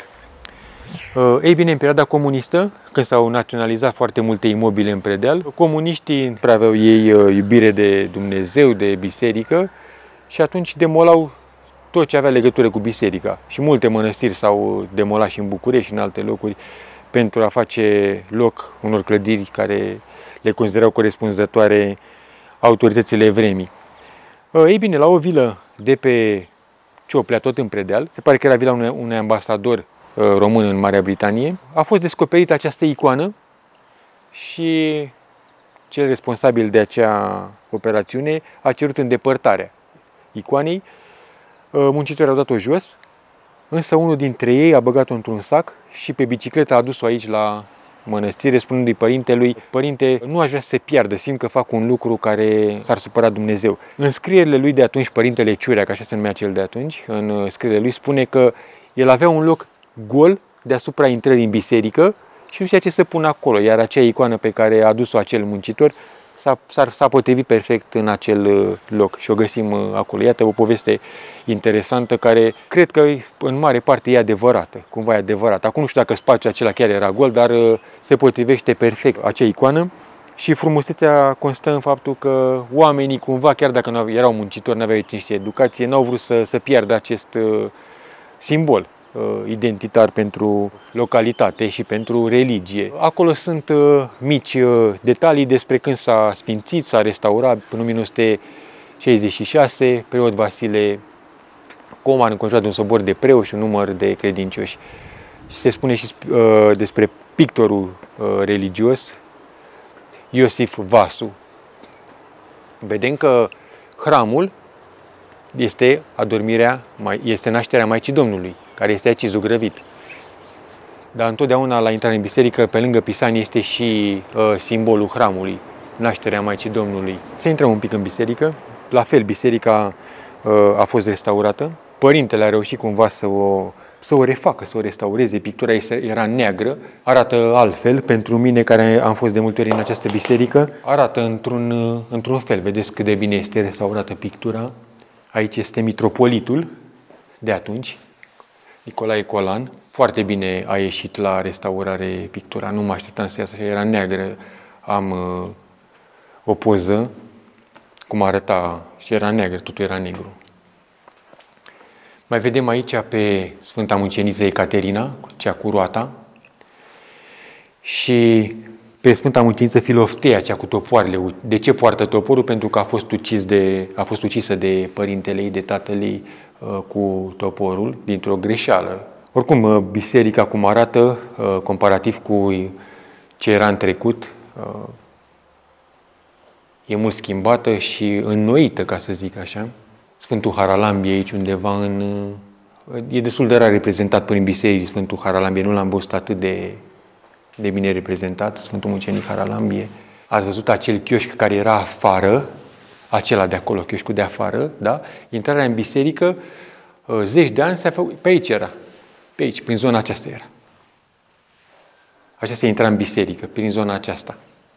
În vederile de la început, dinainte de a doua conflagrație mondială, așa arăta că pe aici se intra în biserică, prin acel chioșc care este afară. Acum este o anexă lipită de, uh, de biserică. Am prins o zi în care nu este atât de multă lume aici. Vedeți că dacă predealul ar fi fost promovat foarte bine și totul pus în valoare, în mod sigur ar fi fost uh, foarte multă lume aici.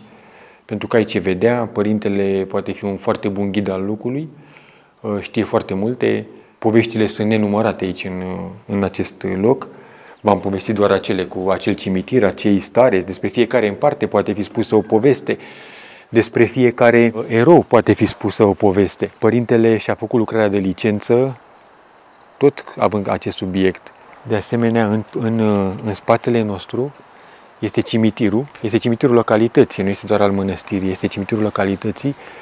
Uh, am putea încerca să intrăm puțin în, uh, în el. Aici sunt, chiar aici, exact aici. Acesta ne interesează foarte mult. Aici sunt înmormântați uh, uh, călugării care au slujit în, uh, în această mănăstire. o inscripție în acest sens este pe spatele acestei cruci. Dacă ne uităm puțin,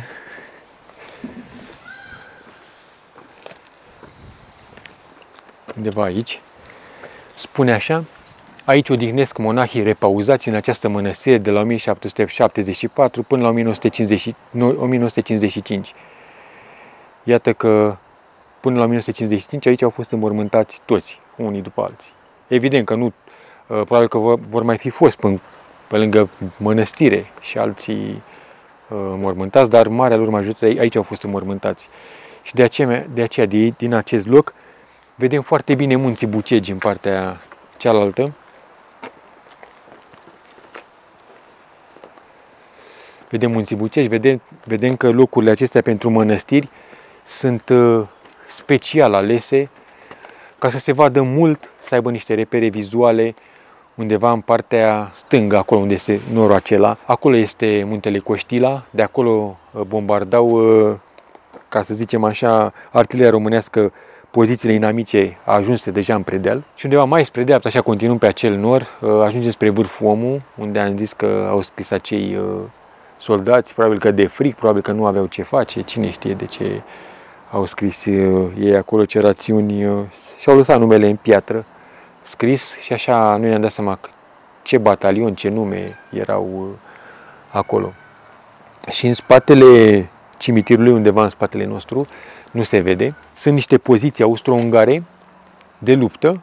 Uh, ele au fost uh, realizate pentru că ai noștri, evident, nu puteau bombarda mănăstire. Și atunci stăteau foarte bine aici, ascunși, de unde ei trăgeau iar noi nu puteam să trăgem, că neavând nici precizie, am fi distrus noi mănăstirea noastră. Da, așa Da. Putem să ieșim undeva pe aici la da. drum și să revenim la, șco- la prima școală. O poveste întreagă se poate realiza numai câte personalități a avut uh, predealul și sunt îngropate aici. Dacă filmăm puțin acel monument, dați-vă acel, acela de acolo, vă vedea loc de veci Gheorghe, Gheorghe Zăpadă. Acela, Gheorghe Zăpadă. Este un campion național Uh, la schi. Este unul dintre participanții la Olimpiade în uh, Europa, la Belgrad, uh, în tot felul de stațiuni europene. Este unul dintre cei mai renumiți sportivi ai predealului, adică a fost. El a rămas în conștiința multora ca un reper, de aceea vorbim la, la timpul prezent. Am mai avut un frate, Ion Zăpadă, autor de poezii, Amândoi au adus schiul la predeal împreună cu vânătorii de munte, pentru că ei erau înșiși vânători de munte. Acolo și-au făcut stagiu militar și acolo au rămas. Nu sunt declarați uh, uh, ceva personalități locale sau uh, cetățeni de onoare. Nu sunt. Uh, vor fi probabil. Uh, cimitirul este foarte mare pentru că în el sunt îngropați uh, toți predelenii care mor, este singurul cimitir al, uh, al stațiunii, al orașului. Nu mai sunt uh, alte locuri de veci. Bun, evident că dacă am stat și am umblat printre ei, am găsit multe alte povești. Am mai petrece aici cel puțin o oră. Sunt povești care au legătură cu învățământul, am găsit profesori, cu domeniul militar, am găsit general sau alți ofițeri care au, uh, au făcut ceva, au lăsat o urmă, o urmă în spatele lor. Ieșim acum aproape de școala veche. Vedeți o clădire restaurată mai recent, o clădire în care uh, ani de zile s-au făcut uh, renovări, de prin 2015 au început la ea. Prin 2021-2022 au reușit să încheie lucrările. Așteptăm acum să vedem ce destinații se va dea. Propuneri sunt. Undeva departe uh, norul s-a destrămat și vedem crucea de pe Caraiman. Da? Vedem... Da, da, da, da, se vede. La ochiul liber se da? vede. Se vede și releul de pe da. muntele Coștila. Exact în fața lui existau pozițiile de artilerie românești care trăgeau spre predeal. Undeva mult mai la dreapta, dar este în ceață, se află vârful omul. Da, deci uh, atunci când a ales uh, locul pentru schit, părintele de atunci, de acum sute de ani, uh, a fost bine inspirat, l-a pus foarte bine aici într-un peisaj, într-un cadru restrâns, dar totuși aproape. Vedeți că locurile acestea pe care le aleg ei pentru mănăstiri sunt uh, ca un fel de trepte, da, spre cer, cu, să fie mai aproape, să, să fie liniște. Totodată în clădirea aceasta a școlii vechi a fost și prima primărie aici, în clădire. Bine, evident, clădirea este recondiționată, a fost arsă, dar tot în acest spațiu, în acest loc, a fost prima primărie. Prima primărie atunci când Predealul a devenit independentă, să zicem așa, s-a despărțit de Azuga în 1912. Pentru că să știți că cercetările uh, ocazionate de scrierea unor cărți despre Predeal, toate încep cu prima primărie și cu Predealul de la 1912 încoace. Dar Predealul ca și comună a fost uh, unită cu Azuga. Și primăria era la Azuga. Primăria Predealului era la Azuga. O vom merge acolo Mergem și vom acum vedea. să vedem, uh, să răscolim și Azuga. Da.